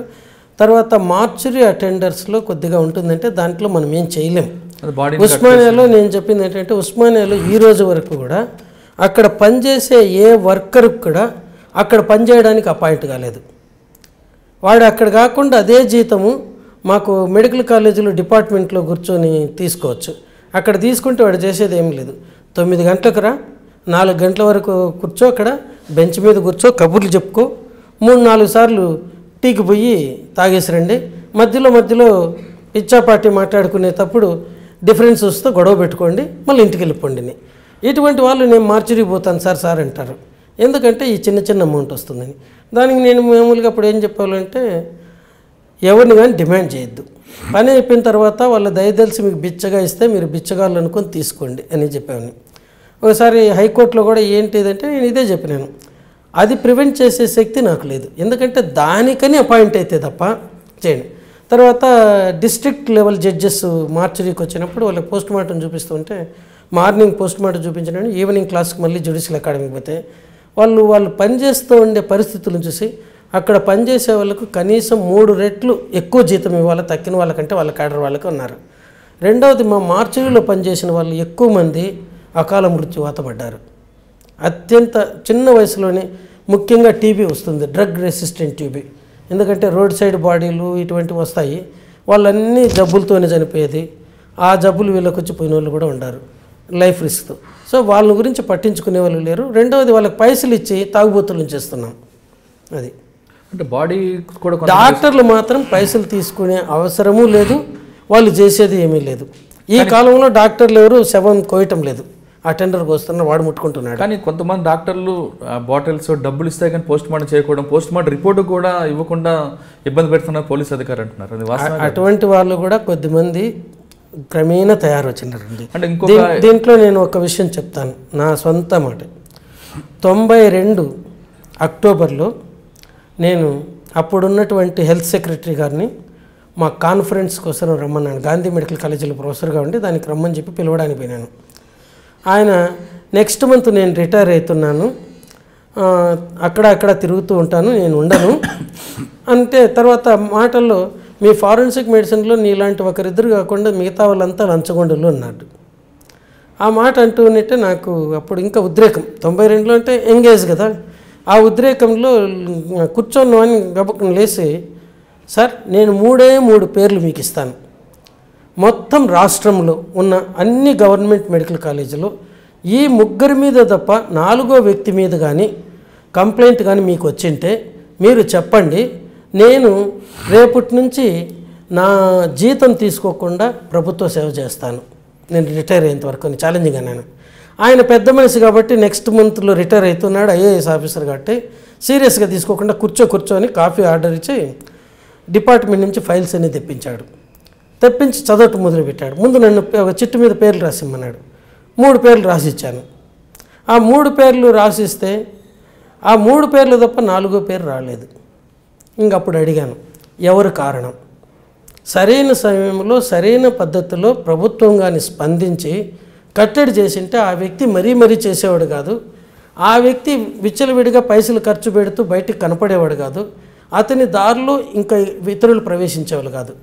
ఇప్పుడు రాను రాను ఏమైపోతుంది? మీరు ఇటువంటి దాంట్లో వాళ్ళు జల్సాగా బ్రతికే కొద్దీ తక్కిన వాళ్ళు మానసిక దౌర్బల్యం ఉండేవాళ్ళు ఆ మార్గానికే పోతున్నారు. ఇప్పుడు ఇటువంటి వాళ్ళని చూసి మేము కూడా అలాగ తాగడానికి పైసలు వస్తాయని చేరే వాళ్ళు కూడా ఉన్నారు. మరి దానికి నన్ను ఏం చేయమంటారు? ఎవరిని ఏం చేస్తారు? అంటే మీ డిపార్ట్మెంట్లో మీరు అన్నట్లుగా అదొకటే కరప్షన్ కాకుండా శవాలు తారుమారు అవుతుంటాయండి శవాలు అమ్ముకుంటున్నారని శవాలు తారుమారు చేస్తారు శవాలు అమ్ముకు అది ఎంతవరకు శవాలు అమ్ముకుంటున్నారు అనేది మాత్రం నిజం కాదండి. శవాలు అమ్మేది ప్రభుత్వం దీంట్లోనే.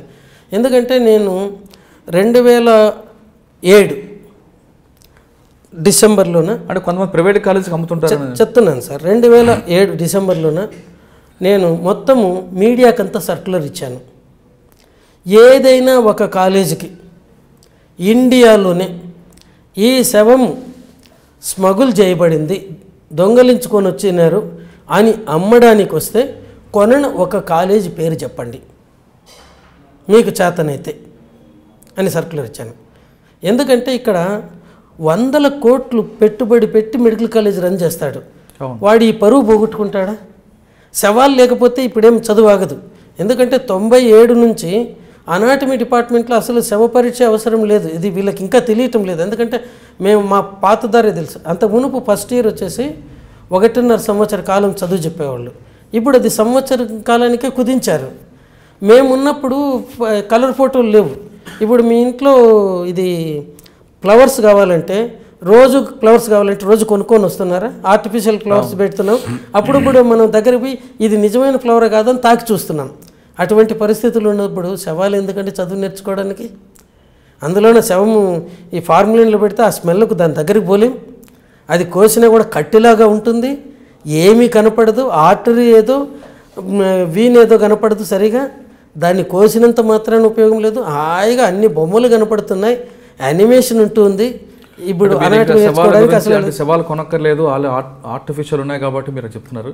అంటే మీ సర్వీస్లో తీసుకుంటే ప్రత్యుష కేసుతో పాటు ఇంకొక ఎక్విప్మెంట్ కనిపిస్తుంది. ఆ ఎక్విప్మెంట్లో దాంతో మైనస్ కూడా మీకు వచ్చింది. సార్ ఇక్కడ ఈ సవాల్ దీంట్లోనే ఇంకొక చిన్న చెప్తానండి అరుణ గారు శనక్కాయల అరుణ గారు మినిస్టర్గా ఉన్నప్పుడు ఆమెకు ఒక ప్రశ్న second second Monday third Monday of August two thousand వన్లో వచ్చింది ఆమెకు question first question YS Rajasekhara Reddy garu opposition లీడర్గా పెట్టిన క్వశ్చన్ మొత్తం ప్రభుత్వ కాలేజీలకు గవర్నమెంట్ మెడికల్ కాలేజెస్కు ప్రైవేట్ మెడికల్ కాలేజెస్కు మోడర్న్ సిస్టమ్ మెడికల్ కాలేజెస్కు ఆ ఇండియన్ సిస్టమ్ ఆఫ్ మెడికల్ కాలేజెస్కు హోమియోపతి మెడికల్ కాలేజెస్కు సంవత్సరానికి ఎన్ని సవాలు కావాలా? గత మూడు సంవత్సరాల్లో ఎన్ని సవాలు మీరు సప్లై చేయగలిగినారు? సప్లై చేయకపోతే మిగతావి ఎట్లా సప్లై చేయగలుగుతారు? అనే ప్రశ్న వచ్చింది. ఈమె ఫ్రైడే ఈవినింగ్ చూసుకునేది. పాపం మొట్టమొదటిసారిగా మినిస్టర్ అయింది. ఇమీడియట్గా మమ్మల్ని పిలిపించింది. నేను ఒకటే రాసిచ్చాను. నాకు రెండు రోజులు టైం ఇవ్వండి ఇచ్చేస్తాననేసి మండే మార్నింగ్ పోల దాంట్లో రాసిచ్చాను. ఏంటంటే ఈ కాలంలో శవాలు దొరికితేనే సప్లై చేస్తాం. అంతేగాని సవాల్ని ఎక్కడి నుంచైనా తీసుకొని వచ్చి ఇచ్చే అవకాశం లేదు.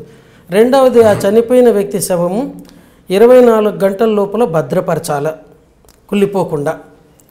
ఇమీడియట్గా అది ఏమాత్రం కుళ్ళు ఉండకూడదు గాయాలు ఉండకూడదు. ఇటువంటి శవం ఇటువంటి శవాలు కావాలంటే మాకు ఆసుపత్రిలో గుర్తు తెలియని మరణాలు జరిగితేనే రోడ్డు మీద జరిగే మరణాలను సప్లై చేయడానికి లేదు పోలీసులు రిక్వజిషన్ ఇస్తారు. అవి కూడా న్యాచురల్ డెత్ అయితేనే అది కూడా చట్టం ప్రకారం మూడు రోజులు పెట్టమనలా. మూడు రోజుల లోపల ఎవరు కానీ తెలియకపోతే చేయొచ్చు. లేదా ఎవరైనా తెలిసి వస్తున్నారంటే వారం రోజులు పెట్టాలి. ఇది చట్టంలో ఉండేది. మేము దానికి బదులుగా నేను హెచ్ఓడిగా ఉన్నప్పుడు మూడు వారాలు పెట్టించాను మొదట ఐదేళ్ళ ఒక నెల. అప్పుడు నేను డైరెక్ట్గా సూపర్వైజ్ చేసి వర్కర్స్ దగ్గర పెట్టించాను మూడు వారాలు పెట్టించిన తర్వాత కూడా ఎవరైనా వస్తే ఇస్తే ఇంకొక వారం వరకు దీన్ని డిసెక్ట్ చేయకూడదు అనేవాడిని ఎందుకంటే ఈ మధ్యలో బంధువులు వస్తే గొడవ ఎందుకు తెచ్చి ఇచ్చేసేయండి మూడు రోజులకే మాకు అయ్యా నువ్వు మూడు రోజుల లోపల రాలేదు కాబట్టి పంపాము. బంధువుకు కావాల్సింది ఏంటంటే శవం ఎక్కడ పోయింది చెప్పాలా? ఎందుకు ఇచ్చినామంటే రూల్స్ ఉన్నాయి. అనాటమీ పెథాలజీ యాక్ట్ ప్రకారం. ఇలా ఉండదు. ఇక్కడ శవం ఎవడు కానీ దొంగలించింది తీసుకోరు ఎందుకంటే శవం లేదని చెప్తే ఏమవుతుంది? ఎంసీఐ వస్తుంది. మీ దగ్గర శవాలు లేవు కదండి అంటాడు. అవునయ్యా దొరకటం లేదు. ఏం చేయమంటావు? వాడు ఒప్పుకుంటాడు. తర్వాత ఆ శవాన్ని కోయడానికి కూడా మెడికల్ స్టూడెంట్స్ ఎవరు ఇంట్రెస్ట్ చూపరు. వంద మందిలో మెడికల్ స్టూడెంట్స్కు పది ఇరవై మంది కంటే మిగతా వాళ్ళు శవం దగ్గరికి కూడా పోరు. ఇంకెందుకు గోయాలి అవ్వదని ఇక్కడ తర్వాత మీకు ఎస్విఎస్ మెడికల్ కాలేజ్ మహబూబ్ నగర్లో చాలా ఏళ్ళ వాళ్ళు ఒక శవం కూడా తీసుకోలేదు అవైలబుల్ ఉన్నప్పుడు కూడా. ఎందుకంటే ఎవరికీ ఇంట్రెస్ట్ లేదు. దీన్ని కేవలం మీడియా చెప్పుకుంటారు. ఇప్పుడు నేను దొంగగా దొంగగా ఎట్లా అమ్మగలరంటే రవీందర్ రెడ్డి గారు మా దగ్గర హెచ్ఓడిగా ఉన్నప్పుడు వన్ ఇయర్ వన్ మంత్ ఉన్నాడు. ఆయన ఏం చేసేవాడు? అక్కడ వాళ్ళు పదహైదు వేలు ప్రతి శవానికని ఈయన దగ్గర పైసలు తీసుకున్నాడు నేనున్నప్పుడు ఏంటి? వాళ్ళు హెచ్డిఎస్లో డైరెక్ట్గా కట్టాలా? అది డీడీ రూపంలో అని చెప్పినాను ఈయన అలాగాక పైసలుగా ఇచ్చేయండి అని ఆ పైసలు తన దగ్గర ఉంచుకొని వాడు ఆరు శవాలు తీసుకెళ్ళేట్టుగా అంటే రెండు శవాలకు పైసలు కట్టేసి దంతు చేసి మిగతావి నాలుగు వీడికి అమ్మాడు. కానీ కొనేవాడు ఆథరైజ్డ్గా కొంటున్నాడు. ఇక్కడ మిస్చీఫ్ జరుగుతూ ఉండేది విత్ ఇన్ ద ఆఫీసులో వచ్చిన పైసలు జమ అంటే కాకపోవడం. మీ డిపార్ట్మెంట్లో కొంతమంది వ్యక్తులు సవాల్ అటువంటి వాళ్ళు చాలా మంది సవాల్ కొద్దిమంది కాదు చాలా మంది అట్లే ఉంటారు ఇంకా గాంధీలో ఒక దుర్ దుర్మార్గమైన సిస్టమ్ ఏమైందంటే ఈ వచ్చిన అమౌంట్ను మూడు భాగాలు చేసి ఒక భాగం అనాటమీకి ఒక భాగం ఫారెన్సిక్ మెడిసిన్కి ఒక భాగం కాలేజ్ డెవలప్మెంట్కి అన్నాడు. మళ్ళీ అనాటమీ దేనికి ఖర్చు పెట్టిందో ఫారెన్సిక్ మెడిసిన్ దేనికి ఖర్చు పెట్టిందో దాని మీద నిఘా లేదు. అంటే సవాల్ మీద వ్యాపారం చేయడం వాస్తవం అంటారు. అదే ఇట్లా ఇండైరెక్ట్ ఇట్లా తినుకుంటున్నారు. అంటే కాలేజీకి రావాల్సింది కాలేజ్ డెవలప్మెంట్ సొసైటీకి కానీ హాస్పిటల్ డెవలప్మెంట్ సొసైటీకి పోవాల్సిన దాన్ని వాటికి పోనీకుండా వీళ్ళ జోబీలోకి వెళ్తూ ఉంది. కొనేవాడేమో ఆథరైజ్డ్గా కొంటున్నారు. ఆ టైప్ దుర్మార్గులు ప్రతి ఆఫీసులోనే ఉన్నట్టు మేమేమన్నా పైనుంచి వచ్చామా? ఓకే. అంటే మీరు అన్నట్లుగా ఇక సవాల మీద వ్యాపారం మీ డిపార్ట్మెంట్ అంటే ఏ ప్రతి డిపార్ట్మెంట్లో కొంతమంది వ్యక్తులు ఉంటారు వాళ్ళ వల్ల చెడ్డ పేరు వస్తుంటుంది. సాధారణంగా ఉండేది ప్రతి దగ్గర కూడా. ఇక మీ వ్యక్తిగత విషయానికి వస్తుంటే మీ అచీవ్మెంట్ ప్రత్యూష కేసులో ఎంత బాగా క్లియర్గా కనిపిస్తుందో. అంటే రాంగ్ ట్రాక్ వెళ్ళిన కేసుని మీ కమిటీ ద్వారా అసలు అమ్మాయికి చెడ్డ పేరు రాలేదు అమ్మాయి ఎటువంటి జరగలేదు. కేవలం లవ్ అఫేర్లోనే సూసైడ్ చేసుకుందని మీ రిపోర్ట్ వచ్చింది. ఇంకా మీ రెండో అచీవ్మెంట్ కనిపిస్తుంది ఒకటి. గుజరాత్లో మాజీ హోం శాఖ మంత్రి కాల్పుల కేసు. ఆ కేసులో మీరు అచీవ్మెంట్ కనిపిస్తుందని మీరు అంటున్నారు కానీ అందులో మైనస్ ఉందని కొంతమంది వ్యక్తులు అంటారు. ఒకసారి ఆ కేసు హరేణ్ పాండే కేసు గురించి అసలు ఏం జరిగింది చెప్పండి.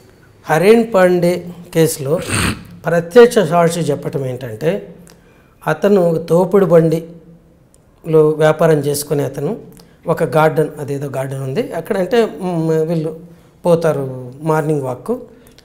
ఒక వ్యక్తి పైజమాలు ఆల్చి చేసిన తను Maruti eight hundred white Maruti కారులో అది పార్క్ చేసింటే తొమ్మిది గంటల ప్రాంతంలో వాకింగ్ అయిపోయిన తర్వాత వచ్చి కారు డోర్ తెరుచుకొని కుడి చేతి వైపు కారులో కూర్చొని ఆ గ్లాస్ ప్లేన్ తీస్తూ ఉంటే ఈ లోపల ఆ బుషెస్లో దాక్కున్న ఒక వ్యక్తి రివాల్వర్ చేతిలో పట్టుకొని గబగబా వచ్చి ఇతన్ని కాల్చాడు వెళ్ళిపోయినాడు. తర్వాత తను ఒక పదిహేను నిమిషాలు అట్లే అనుకున్నాడు. అంటే చూసిన అతను. తర్వాత వచ్చి చూస్తే ఈ వ్యక్తి ఇలా స్టీరింగ్ వీల్ మీద పడి ఉన్నాడు అన్నాడు. తర్వాత కొద్దిసేపు మళ్ళీ ఏం చేయాలో తెలియక లేనివి పక్కనుండే షాప్ అతనికి ఇలా జరిగిందంటే వాళ్ళిద్దరూ కొద్దిసేపు మాట్లాడుకున్న తర్వాత పోలీసులకు సమాచారం అందించాడు. పోలీసులకు సమాచారం అందించేప్పటికి పది పదిన్నర అయింది పోలీసులు వచ్చేప్పటికి. అంటే ఇన్సిడెంట్ జరిగింది తొమ్మిదికి. వాళ్ళు వచ్చింది అక్కడికి వస్తే ఈయన హరేన్ పాండే ఉన్నాడు. మాజీ హోమ్ మినిస్టరు అని వాళ్ళకి అనుమానం వచ్చి అంటే ఆయన పైజమా లాల్చీలో ఉన్నాడు. బయట తిరిగేదానికి నైట్ డ్రెస్కు కొద్దిగా. వీళ్ళకి అనుమానం వచ్చి వాళ్ళ ఇంటికి ఫోన్ చేస్తే వాళ్ళ శ్రీమతి మా ఆయన మార్నింగ్ వాక్ నుంచి వాళ్ళ ఆఫీస్కి పోయింటాడు అనింది రాలేదనేసి. ఆఫీస్కి ఫోన్ చేస్తే సాబ్ ఇంకా ఇంటి నుంచినే రాలేదంటే ఇంకా ఈయన హరేన్ పాండేనే పదకొండు గంటలకు డిస్ట్రిక్ట్ హాస్పిటల్ అంటే అది టీచింగ్ హాస్పిటల్కి తీసుకెళ్ళారు. తీసుకెళ్ళి పదకొండు హాస్పిటల్ పదకొండు గంటలకు అతన్ని హాస్పిటల్ అడ్మిట్ చేస్తే పన్నెండు గంటల వరకు ట్రీట్మెంట్ ఇచ్చినారు ఈవెన్ ఎక్స్రేలు కూడా తీసినారు. రకరకాల ట్రీట్మెంట్ పెద్ద కేసు సీట్ బిల్డప్ చేసి పన్నెండు గంటలకు అతను చనిపోయినాడని నిర్ణయించిన తర్వాత మళ్ళీ ఒంటి గంట తర్వాత పోస్ట్ మార్టం ముగ్గురు డాక్టర్లు కలిసి చేశారు. ఈ కేసులో ఒక ఏడు గాయాలు ఉన్నాయి మొత్తం. ఆ శవం మీద ఏడు గాయాలు ఉన్నాయండి. ఒక గాయమేమో కుడి చేతి వెనుక భాగాన ఈ రెండు అది చూ చూపుడు వేలుకు మధ్య వేలుకు మధ్యలో ఉండే వెబ్ దగ్గర ఉంది. అది చూపుడు వేలు కింద ఉండే ఈ బోన్ను చిన్న చిన్న ముక్కలు చేసి అక్కడే పడిపోయినట్టుంది. రెండవ గాయము ఏటవాలుగా కుడి ముంజేతి ముందు పైన అంటే upper two thirds lower one third మధ్యలో ఇలా పోయినట్టు గ్రేజ్ బుల్లెట్ గ్రేజ్ అని రాశారు వాళ్ళు. ఇవి రెండింటి నుంచి కూడా బ్లీడింగ్ కారాల బ్లడ్ కారాల అక్కడ రక్తం. తర్వాత ఇంకో గాయము కాలర్ బోన్ను ఇక్కడ లోపల పక్క నుంచి అంటే ఈ ఇన్నర్ రెండు నుంచి రెండు సెంటీమీటర్లు అవతలకి ఒక సెంటీమీటర్ పైన ఇలా పోయి ఎడమ పక్క ఊపిరితిత్తులు పైభాగాన్ని నుంచి పోయి ఎడమ సంఖలో రెండు మూడు రెండు మూడు ఈ రిబ్స్ మధ్యలో అక్కడ చర్మం కింద ఆగి ఉంది. అది ఒకటి. రెండవది ఈ రెండు మూడు ఈ ఎముకలు బర్రె ఎముకలు అంటాము లేకపోతే రిబ్స్ అంటాం ఈ రిబ్స్ మధ్యలోన తర్వాత ఈ బ్రెస్ట్ బోన్కు కుడివైపున అక్కడి నుంచి పోయింది. అక్కడి నుంచి పోయి ఈ హార్ట్ను గుండెను రెండుగా చీల్చింది. ముందు కుడిపక్క నుంచి ఇట వెళ్ళి ఎడమ పక్క వెనుక వాగాన ఇట వెళ్ళిపోయింది. కింది కవాటాలను రెండింటిని జఠరికలు అంటాం తెలుగులో వెంట్రుకల్స్ అనేసి. ఇది. అది కూడా పోయి మళ్ళీ ఇక్కడ మూడు నాలుగు రిబ్స్ మధ్యలో. ఇంకా రెండు ఒకటి ఐదు సెంటీమీటర్ల కింద నిప్పుల కింద కుడి నిప్పుల కింద ఇంకోటి ఐదు పాయింట్ ఐదు సెంటీమీటర్లు నిప్పుల కింద. అండ్ మొదటి దానికి ఒక దానికి వన్ అండ్ హాఫ్ సెంటీమీటర్ ముందు. ఒకటేమో ఐదు సెంటీమీటర్ల కింద ఇంకొకటి కుడి పక్కన ఇంకొక సెంటీమీటర్ దిగున వన్ అండ్ హాఫ్ సెంటీమీటర్ కింద నుంచి. ఇట్లా పైకి వచ్చి చర్మం కింద నుంచి ఇలా పోయి నిప్పుల దగ్గర లోపలికి వెళ్ళాయి. ఇంకొకటి వృషణాల దగ్గర ఎడం ఎడం వైపు కింది భాగం నుంచి పైకి ఇలా పోయి అక్కడి నుంచి ఈ పొట్టలేకి వచ్చి ప్రేవులన్నింటినీ రంధ్రాలు పెట్టుకుంటూ పెద్ద ప్రేవు పైకి ఇట్లా వస్తుంది ఇక్కడ కుడి వైపున. దాంట్లోకి ఎంటర్ అయి పైకి వచ్చి కుడి బెర్రి వెముక ఉండ వెన కుడి పక్కన బయటకు వచ్చి చర్మం కింద నుంచి పైకి వెళ్ళి ఈ భుజపుట్ట వెముక పక్కన? వచ్చింది. ఇలా ఉండే దాంట్లో. తర్వాత ఇవి గాయాలు. ఏడు. ఇలా పడున్నారన్నారు. దాంట్లో పరీక్ష చేస్తే ఆ కారులో ఒక్క రక్తపు బొట్టు కూడా లేదు. ఇవి రెండు ఎక్స్టర్నల్ బ్లీడింగ్ పైకి కారాల. ఈ గాయాలతో లోపలికి వెళ్ళొచ్చు ఈ గాయం ఇక్కడ పోతే ఇదంతా తడిచిపోవాలి. అందులోనే ఆయన వేసుకునేది కాటన్ పైజమా కాటన్ అండర్వేరే. మామూలు మిషన్ది కూడా కాదు. సో అక్కడ మొత్తం దీంతో రక్తంతో ఇది తడవాల? ఇది కావాలా? తర్వాత బుల్లెట్ ఇంకే స్పెంట్ బుల్లెట్స్ ఈ రెండు కింద పడి ఉండాలి. అంటే అదే కారులోనే లేవు. దీనికి ఈ ఇన్వెస్టిగేషన్లో వాళ్ళు ఎలా చేశారంటే మొదట డిఎస్పీని ఇక్కడ బుల్లెట్ అట ఇలా పోయిందట ఇలా పోయి ఇటు పోయింది అంటున్నారు. ఇది ఇలా వచ్చింది కానీ ఇలా పోతే ఇక్కడ ట్రాక్ ఉంటుంది రెడ్గా. తర్వాత ఇక్కడ మనకు ఈ నాలుగు ఎముకలు ఒకదానికొకటి అనుకొని ఇట్లా జరుగుతాయి తప్ప పక్కకు పోలేవు. తర్వాత రెండు వరుసలు కార్పల్ బోన్స్ ఉంటాయి. ఇదంతా ఎవరు చేశారన్నప్పుడు ఇన్వెస్టిగేషన్ పైకి పెట్టారు? ఇంకా ఎవరు చేశారో తెలియదు రెండవది ఈ రెండు వరుసలు ఈ కార్పల్ బోన్స్ ఉంటాయి. ఇది ఒక వరుస. అవి కాకుండా ఇవి. ఇక్కడ పోయిన బుల్లెట్ ఇట్ రావాలంటే ఇక్కడ ఆగిపోతుంది. తర్వాత ఇట్టుగాని వస్తే ఈ దారి ఇట్లా పైకి ఉండాలి. ఇలా రాదు. అది చెప్పి ఇది ఇట్లా వచ్చింది. నేను పోనీ అలానే వస్తుంది అనుకుంటే ఇది ఎలా చేసిండాలో చూపమని చెప్పి కోర్టులో అడిగాను నేను.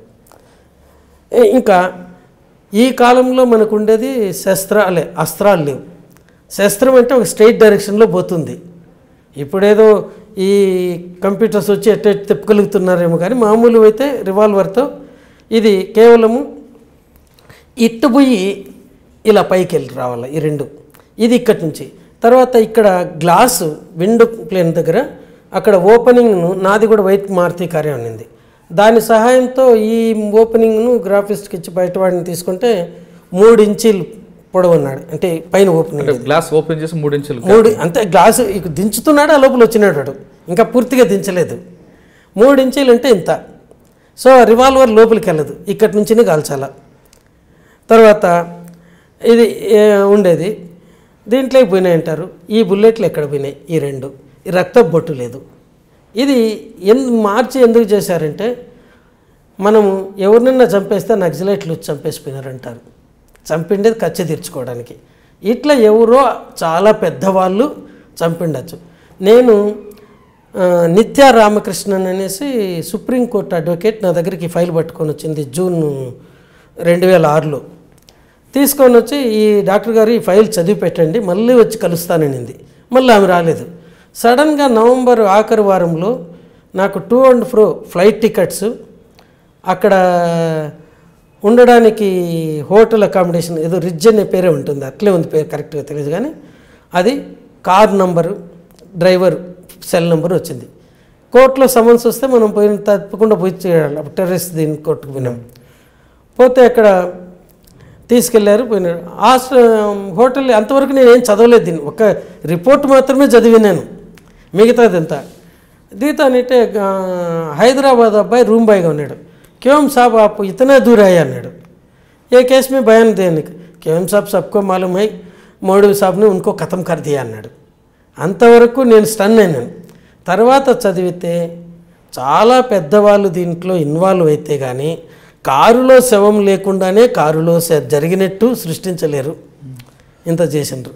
సో ఇది ఎక్కడో అత్యంత పెద్దవాళ్ళు చేసినారు. దాన్నే సిబిఐ కూడా అలానే జరిగిందనింది. అంటే ఆ కేసులో హస్గర్ అలీ అనే వ్యక్తి కాల్పులు జరిపాడని అది మన అస్గర్ అలీ అనేది మన నల్గొండ అబ్బాయి. వాళ్ళ మీద కేసు పెట్టినారు. తర్వాత అంతా కూడా మన హైదరాబాద్ అబ్బాయిలే. ఎక్కడ ఏది జరిగినా ఐఎస్ఐ ఏజెంట్లుగా వీళ్ళనే పెట్టుకుంటున్నారు. ఇక్కడ కాల్పులు జరిపింది అంటే మీరు అన్నట్లు కాల్పులు కారులో జరగలేదంటారా? బయట చంపి కారులో పెట్టారంటారు? బయట చంపినారు కారులో శవాన్ని కూడా పెట్టలేదు. నేను అనేది శవాన్ని కారులోనే పెట్టలేదు. పెడితే బ్లడ్ కారుతుంది అంటే మరి కారులో డెడ్ బాడీ సీన్ అసలు డెడ్ బాడీ కారులో లేదు. తర్వాత క్రియేట్ చేశారు. మన పోలీసు వాళ్ళు నేర పరిశోధనలు క్రియేట్ చేస్తే వాళ్ళు ఎప్పుడు కానీ ఈ కామన్ సెన్స్ యూజ్ చేయరు. చేసింటే ఇంత ఘోరంగా చేసేవాళ్ళు కాదు. బయట ఎక్కడో చంపేసింటే అక్కడ వాళ్ళు చంపినారంటే ఏమవుతుంది అంటే మీరు అప్పటికే ఆ కేసులో అస్గర్ అలీకి గుజరాత్ కోర్టు శిక్ష విధించింది. కానీ మీరు ఇచ్చిన నేను ఇచ్చిన రిపోర్టు తర్వాతనే విధించింది. నేను ఇచ్చిన రిపోర్టు పోయి ఇచ్చిన తర్వాత కోర్టు ఒప్పుకునింది కానీ శిక్ష వేసింది. ఆమె ఏమంటే ఒక ఆమె కొత్తలాని ఎవరు ఉండేవాళ్ళు జడ్జి ఆమెను సపరేట్గా కాస్త కన్విక్షన్ టైప్ జడ్జిని పెట్టారట. తర్వాత దీంట్లో స్పెషల్ పబ్లిక్ ప్రాసిక్యూటర్ అని గుజరాత్లో ఫేమస్ క్రిమినల్ లాయర్ని పెట్టాడు. ఆయన ఒక ఇరవై బుక్కులు తీసుకొని వచ్చినాడు ఫైర్ ఆర్మ్స్ ఇంజరీస్ మీద. ప్రతి దాంట్లోనే తీసుకొని do you agree with this అన్నాడు. Yes I I agree but doesn't it has nothing to do with this case అని చెప్తున్నాను ఏంటండి? లేకపోతే ఏంటండి? ఇది ఎంత తెలిసిందే కదా. ఇక్కడ పోయినది ఇక్కడి నుంచి ఇక్కడ ట్రాక్ లేకుండా ఇట్టెట్టు పోతుంది. అంటే మీరు చాలా స్పష్టంగా చెప్తున్నారు. హరైడ్పాండి కేసులో కారులోనే డెడ్ బాడీ లేదు. బయట చంపారు. అసలు కారులో బాడీ లేదు. కారుకు ఆ బాడీకి సంబంధం లేదు. అది నేను కానీ అప్పుడు ఉన్న పోలీస్ నేనే చెప్పటం కాదండి. ఫారెన్సిక్ సైన్స్ ల్యాబొరేటరీ కూడా చెప్పింది కదా. స్పష్టంగా చెప్తున్నారు. కారు గ్లాస్ డౌన్ చేసి ఆ గ్యాప్ మూడు మీటర్ల గ్యాప్లో మూడు ఇంచులు. మూడు ఇంచులు. కాల్చొచ్చు అనేది వాళ్ళు కూడా ఒక కాల్చొచ్చు. నేను అంటే ఇది డౌన్ చేసినప్పుడు కాల్చొచ్చు. కానీ కాలిస్తే ఇట్లా పోతుంది. ఇవి రెండు కిందికి పోయి ఇలా ఇలా వచ్చాయి. అంటే బుల్లెట్ రివర్స్ ఎట్లా ఇట్ట పోయింది ఇట్ట వెళ్ళిపోవాలి కానీ ఇలా ఇలా వచ్చింది. అంటే ఒక లోపల బోన్ కానీ ఏమన్నా ఏమీ లేవు కదా ఇక్కడ పోతుంది కానీ ఇట్లా కాలిస్తే నేరుగా ఆ- తర్వాత సీన్ ఎందుకు క్రియేట్ ఒక్క- నిమిషం చెప్తాను. నేను ఇలా కూర్చో ఆయన ఇట్ట కూర్చో ఉన్నాడు సీట్లో. ఇక్కడ పోయి ఎట్ట తగులుతుందండి? ఇక్కడ తగిలితే కూడా ఇట్ట కిందికి పోవాలా? మీరు అన్నట్లుగానే అక్కడ కార్కి బాడీకి సంబంధం లేదనుకుంటే అంత ఆ సీన్ ఎందుకు క్రియేట్ చేసి క్రియేట్ చేయాల్సి వచ్చిందంటారు? అసలు వ్యక్తిని తప్పించడానికి వీళ్ళు ఇంకా చాలా కేసుల్లో ఇన్వాల్వ్ అయినారు. ఈ అస్గర్ అలీ కానీ ఇంకోరు కానీ వీళ్ళు నిజంగానే ఇస్లామిక్ టెర్రరిస్ట్ అంటే టెర్రరిస్టులు అంటే వాళ్ళు దొంగలు ఇట్లా అనడానికి లేదు మూర్ఖత్వం. ఆ మత మూర్ఖత్వంలో ఉండారు అది ఒక పాయిజన్ లాగా.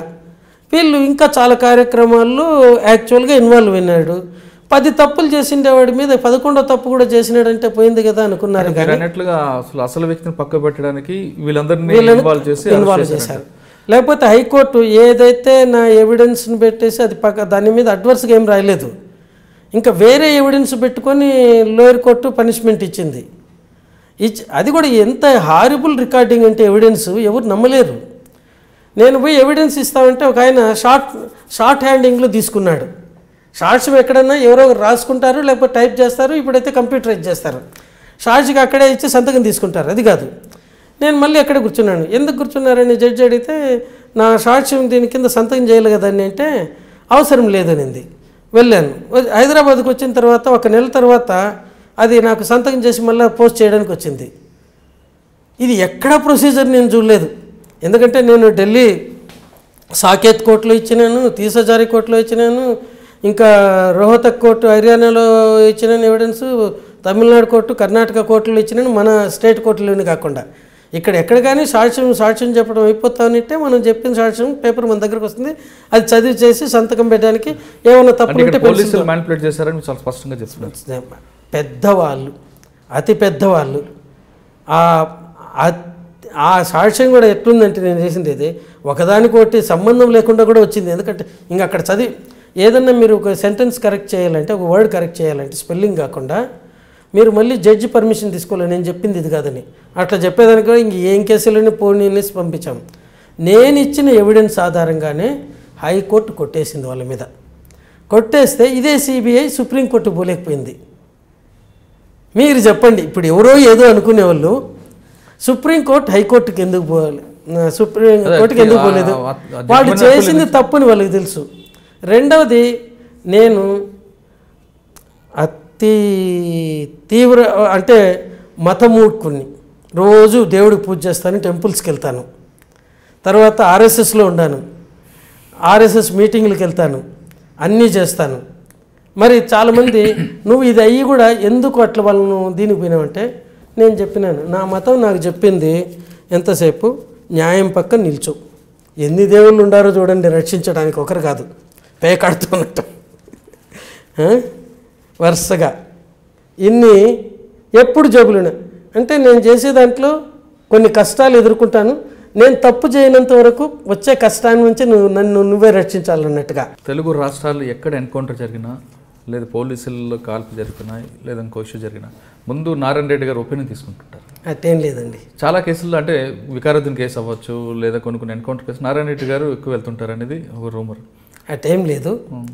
వాళ్ళకి ఎక్కడన్నా కోర్టులో అనుమానాలు వచ్చినప్పుడు కొన్ని కేసులు ఒకటి ఏదంటే ఇంత మునుపు మీరు మొదట ఒక పేరు చెప్పారు. వికారుద్దీన్. వికారుద్దీన్ కంటే ముందు ఒక రైటర్ ఇది ఆజాద్ ఆ కేసులో నా ఒపీనియన్ తీసుకున్నారు. నేను రిటైర్ అయిన తర్వాత కూడా మనకు ఇప్పుడు సీఎం కేసీఆర్ ఉండే చోట ఎస్బీ ఆఫీస్ ఉంది కదా సండే రోజు అక్కడికి పిలిపించుకొని నా దగ్గర ఒపీనియన్ తీసుకున్నారు సుప్రీంకోర్టులో కేసులో నుంచి. అంతకు మునుపు కూడా ఇవి అయ్యిండొచ్చు అనేసి అట్టా కొన్ని చోట్ల ఇవి నిజమైన ఎన్కౌంటర్లు. పోలీసులు చేస్తున్న ఎన్కౌంటర్ అంటారా ఎక్స్చేంజ్ ఆఫ్ ఫైర్ అంటారా? వాటిలో నిజమైన ఎన్కౌంటర్ ఉన్న చోటని నా ఒపీనియన్ తీసుకుంటారు కానీ మిగతా దాంట్లో తీసుకోరు. ఇంకా కొన్ని కేసుల్లో ఆలేరు కేసుల్లో వూండ్స్ ఇంటర్ప్రిటేషన్ కోసం తీసుకుంటారు. అంటే అక్కడ లోకల్ డాక్టర్ చేస్తారు. అది వాళ్ళకి అర్థం కాకపోతే ఇది మాకు అర్థం చెప్పండి అనేసి తీసుకుంటారు కానీ ఆలేరు కేసులో మీరు అన్నట్లుగా మీరు వెళ్ళే చూసారంటున్నారు నేను చూడలేదు. ఆలేరు ఆలేరు కేసు మీకు ఐడియా ఉందండి? ఆలేరు కేసు ఫోటో చూసాం ఆ ఫోటోలో నిజంగా ఎన్కౌంటర్ అంటారా లేదా నా నా అభిప్రాయం అయితే అది ఎన్కౌంటర్ కాదు. ఎందుకంటే అతను ఇలా కూర్చో ఉన్నాడు కార్లు. ఈ చెయ్యి దీనికి కట్టేసి ఉంది చైన్ వేసి వెపన్ ఇట్ట పెట్టుంది. ఎట్లయితుంది అనేసి నేను అంటే ఆ ఫోటో చూసి తర్వాత ఆ కేసులో పోలీసులు నా దగ్గరికి శవ పరీక్ష చేసిన డాక్టర్ గారి శవ పరీక్ష రిపోర్ట్లు పట్టుకొని వచ్చినాడు అంటే అది ఏంటి ఇంజురీ ఏంటి అని చెప్పడానికి వాళ్ళకు. అంటే ఈ చేతితో కాల్చొచ్చు కదండి ఇట్ట పెట్టుకుంటే ఇక్కడ కలుస్తారండి దీంట్లో ఉంటుంది. రెండోది ఎంత కాల్చినా వీళ్ళు ఎన్ని బుల్లెట్స్ ఉంటాయి చేతితో మీరు అన్నట్లుగా హ్యాండ్ కప్స్ వేస్తున్నా ఆ చేతితో వెపన్ తీసుకుని వెపన్ తీసుకొని కాల్చాలంటే వెహికల్ గ్లాసు గుండా పోవాలి కదా. ఇవి ఇంత ఏంటంటే కొన్ని కేసుల్లో పోలీసులు ఏం చేస్తారంటే నిజంగానే కొన్ని విధిలేని పరిస్థితులు. ఒక చిన్న ఎగ్జాంపుల్ చెప్తాను. నేను గాంధీ మెడికల్ కాలేజీలో ఉన్నప్పుడు ఇద్దరిని దొంగలను ఎన్కౌంటర్లో చనిపోయినారని పట్టుకొని వచ్చినారు. వాళ్ళిద్దరూ ఏంటంటే టూ వీలర్ బోన్ దొంగలు. వాళ్ళకి ఆ మెజిస్ట్రేట్ గారు ప్రతిసారి వెంటనే బెయిల్ ఇచ్చేస్తున్నారు. వాళ్ళు మళ్ళీ చేస్తూ ఉన్నారు. ఒకసారి ఒక పీపీ అపోజ్ చేసినాడు. దాన్ని చేస్తే కోర్టులోనే ఏరా ఎవరి మేడలోనే లాక్కెళ్తే నీకేమైంది? రేపు నీ పిల్లాంది లాక్కెళ్తామని నేను ఛాలెంజ్ చేసిపోయినారు. చెప్పినట్టుగానే ఆమె ఆ కాలనీలో పోతా ఉంటే మధ్యాహ్నం పూట అవన్నీ లాక్కోవడానికి గ్లాసులు పోతే ఆమె కింద పడిపోయింది. పడిపోయి అరుస్తా ఉంటే ఆ కాలనీ వాళ్ళందరూ వచ్చి పట్టుకొని అన్ని మళ్ళీ పోలీసులకు ఇచ్చినారు. ఆ కేసులో కూడా జడ్జి గారు ఇమీడియట్గా బెయిల్ ఇచ్చేశారు మేజిస్ట్రేట్ గారు. అయితే ఒక కండిషన్ పెట్టాడు. రోజు వచ్చి వీళ్ళు సంతకం పెట్టాలనేసి. ఒకరోజు వాళ్ళు నిర్మల్ పెళ్ళికి దేనికో పోయినారు పోలీసులకు చెప్పకుండా. ఇది వీళ్ళకి తెలిసి పోయి తీసుకొని బయట ఎన్కౌంటర్ చేసుకొని గాంధీ మార్చుడికి తెచ్చారు. అంటే నిర్మల్లో ఎన్కౌంటర్ చేస్తే గాంధీ గాంధీ నిర్మల్కి పోయి పట్టుకున్నారు. ఓకే. తీసుకొని వస్తూ వస్తూ పారిపోతున్నారనేసి ఎన్కౌంటర్. అది. నేను నవ్వి ఇది ఎట్లా ఎన్కౌంటర్ అవుతుందా అన్నాను. అప్పుడు అసలు కథలు చెప్పినారు. అటువంటివి జరుగుతాయి. ఎందుకంటే చట్టం ఏమీ చేయలేదనుకున్నప్పుడు ఫ్రస్ట్రేట్ అయిపోయినప్పుడు కొద్దిమంది చట్టాన్ని చేతిలోకి తీసుకుంటే చే తీసుకోవటం తప్పే. కానీ విధిలేని తప్పులు కూడా కొద్దిమంది చేస్తూ ఉంటారు. అక్కడ వాళ్ళు చెప్పినప్పుడు నాకు విన్నప్పుడు ఇంక ఇంతకంటే చేయగలిగేది ఏముంది కానీ అది కరెక్ట్ కాదు కదా. కరె కరెక్ట్ కాదు. కానీ చేయగలిగేది ఏముంది నేను అనేది కరెక్ట్ కాదు. చేయగలిగేది ఏముంది? అంటే వాళ్ళ ముందు దోషులకు కోర్టులో ప్రొడ్యూస్ చేసేనారు. ప్రతిసారి రెండు రోజులకు బెయిల్ వచ్చేస్తుంది. తర్వాత చిన్న దొంగతనం చేసిన వాడు జైలుకు పోతే ప్రతి పరిస్థితిలో వాడు బాగా ట్రైనింగ్ అయి గజ దొంగగా మారి వస్తున్నాడు. ఇది మనకు జైల్లో ఈరోజు ఉండే పరిస్థితి. చాలా కేసుల్లో మీరు చదవండి. వాడు అక్కడికి పోయి వచ్చిన తర్వాత మరీ రాటు తేలిపోయి వస్తున్నాడు. ఓ జైలు అంటే ఇదేనా? జైల్లోకి పోతే పెళ్ళి కొడుకులాగా పోయి రావచ్చు శుభ్రంగా ఉండి రావచ్చు కొన్ని రోజులు. అంటే జైలు వ్యవస్థలో కొంత లోపాలు ఉన్నాయి వాస్తవం ఇది లో లోపాలు కొద్ది కాదండి. అంటే ఇది ఏంటంటే రిఫార్మేషన్ వచ్చింది. జైలు అనేది ఈరోజు ఖైదీకి శిక్ష కాకుండా వాటిలో మార్పు తీసుకొని రావాలనేది. ఆ మార్పు తీసుకొని వచ్చే విధానంలో మన లోపాలు ఉన్నాయి వాటిలో తేకుండా. వాడిని ఏముంది? చిన్న తప్పు చేసిన వాడిని పెద్ద తప్పులు చేసే గజ దొంగ దృష్టికేస్తే వాడు ఇంకా ఎట్టెట్ట చేయాలో నేర్పిస్తూ పంపుతాడు. అట్లా జైల్లో కుట్రలు జరిగేటివన్నీ ఎక్కువ కేసులన్నీ జైల్లోనే జరుగుతుంది. నేను వీటిని సమర్థించటం లేదు వాళ్ళు ఎన్కౌంటర్ చేయడం ఎట్టి పరిస్థితుల్లోన. కానీ చట్టం ఏం చెప్తుంది? నువ్వు నీ చేతిలోకి చట్టాన్ని తీసుకునే అధికారం లేదు ఉంటుంది కానీ ఇక్కడ పరిస్థితులు ఏం క్రియేట్ చేసింది? చట్టం ఏమీ చేయలేని పరిస్థితుల్లో ఆగిపోతూ ఉంది. ఇది ఇక్కడ ఒక క్లాస్ వస్తుంది. సార్ మీ సర్వీస్లో పోలీసుల నిర్లక్ష్యంతో ఈ కేసు జరిగింది అనేది మీరేమైనా ఐడెంటిఫై చేశారు? ఇప్పుడు ఒక కేసులో ఒక అమ్మాయి సూసైడ్ చేసుకున్న అతను భో భోంగిరి దగ్గర యాదగిరి గుట్ట దగ్గర. ఒక అమ్మాయి శవాన్ని పోలీసులు భువనగిరి సివిల్ హాస్పిటల్కి తీసుకొని వచ్చినారు పోస్ట్ మార్టంకు. అక్కడ ఇంకొక డాక్టర్ లేడీ డాక్టర్ మా స్టూడెంట్ మా దగ్గరనే చదువుకునేది. ఇప్పుడు గాంధీలో గైనకాలజీ ఆబ్స్టెక్స్లో అసిస్టెంట్ ప్రొఫెసర్గా ఉంది. ఈ అమ్మాయి శవ చేసి ఏప్రిల్లో సార్ ఇది హ్యాంగింగ్ గుర్తుంది. వీళ్ళేమో గొంతుకు ఉరేసి స్ట్రాంగులేషన్ అని తెచ్చినారు నన్ను ఏం చేయమంటారన్నారు. అమ్మ నువ్వు ఒపీనియన్ ఇవ్వద్దు. నువ్వు చూసింది చూసినట్టుగా రిపోర్ట్ రాసి ఒపీనియన్కు నా దగ్గరికి పొమ్మని చెప్పి నాతో మాట్లాడినానని అక్కడే రాసేసేయి అన్నాను. ఆ లక్ష్మీ ప్రసన్న డాక్టర్ గారి పేరు కూడా. కొద్ది సిన్సియర్.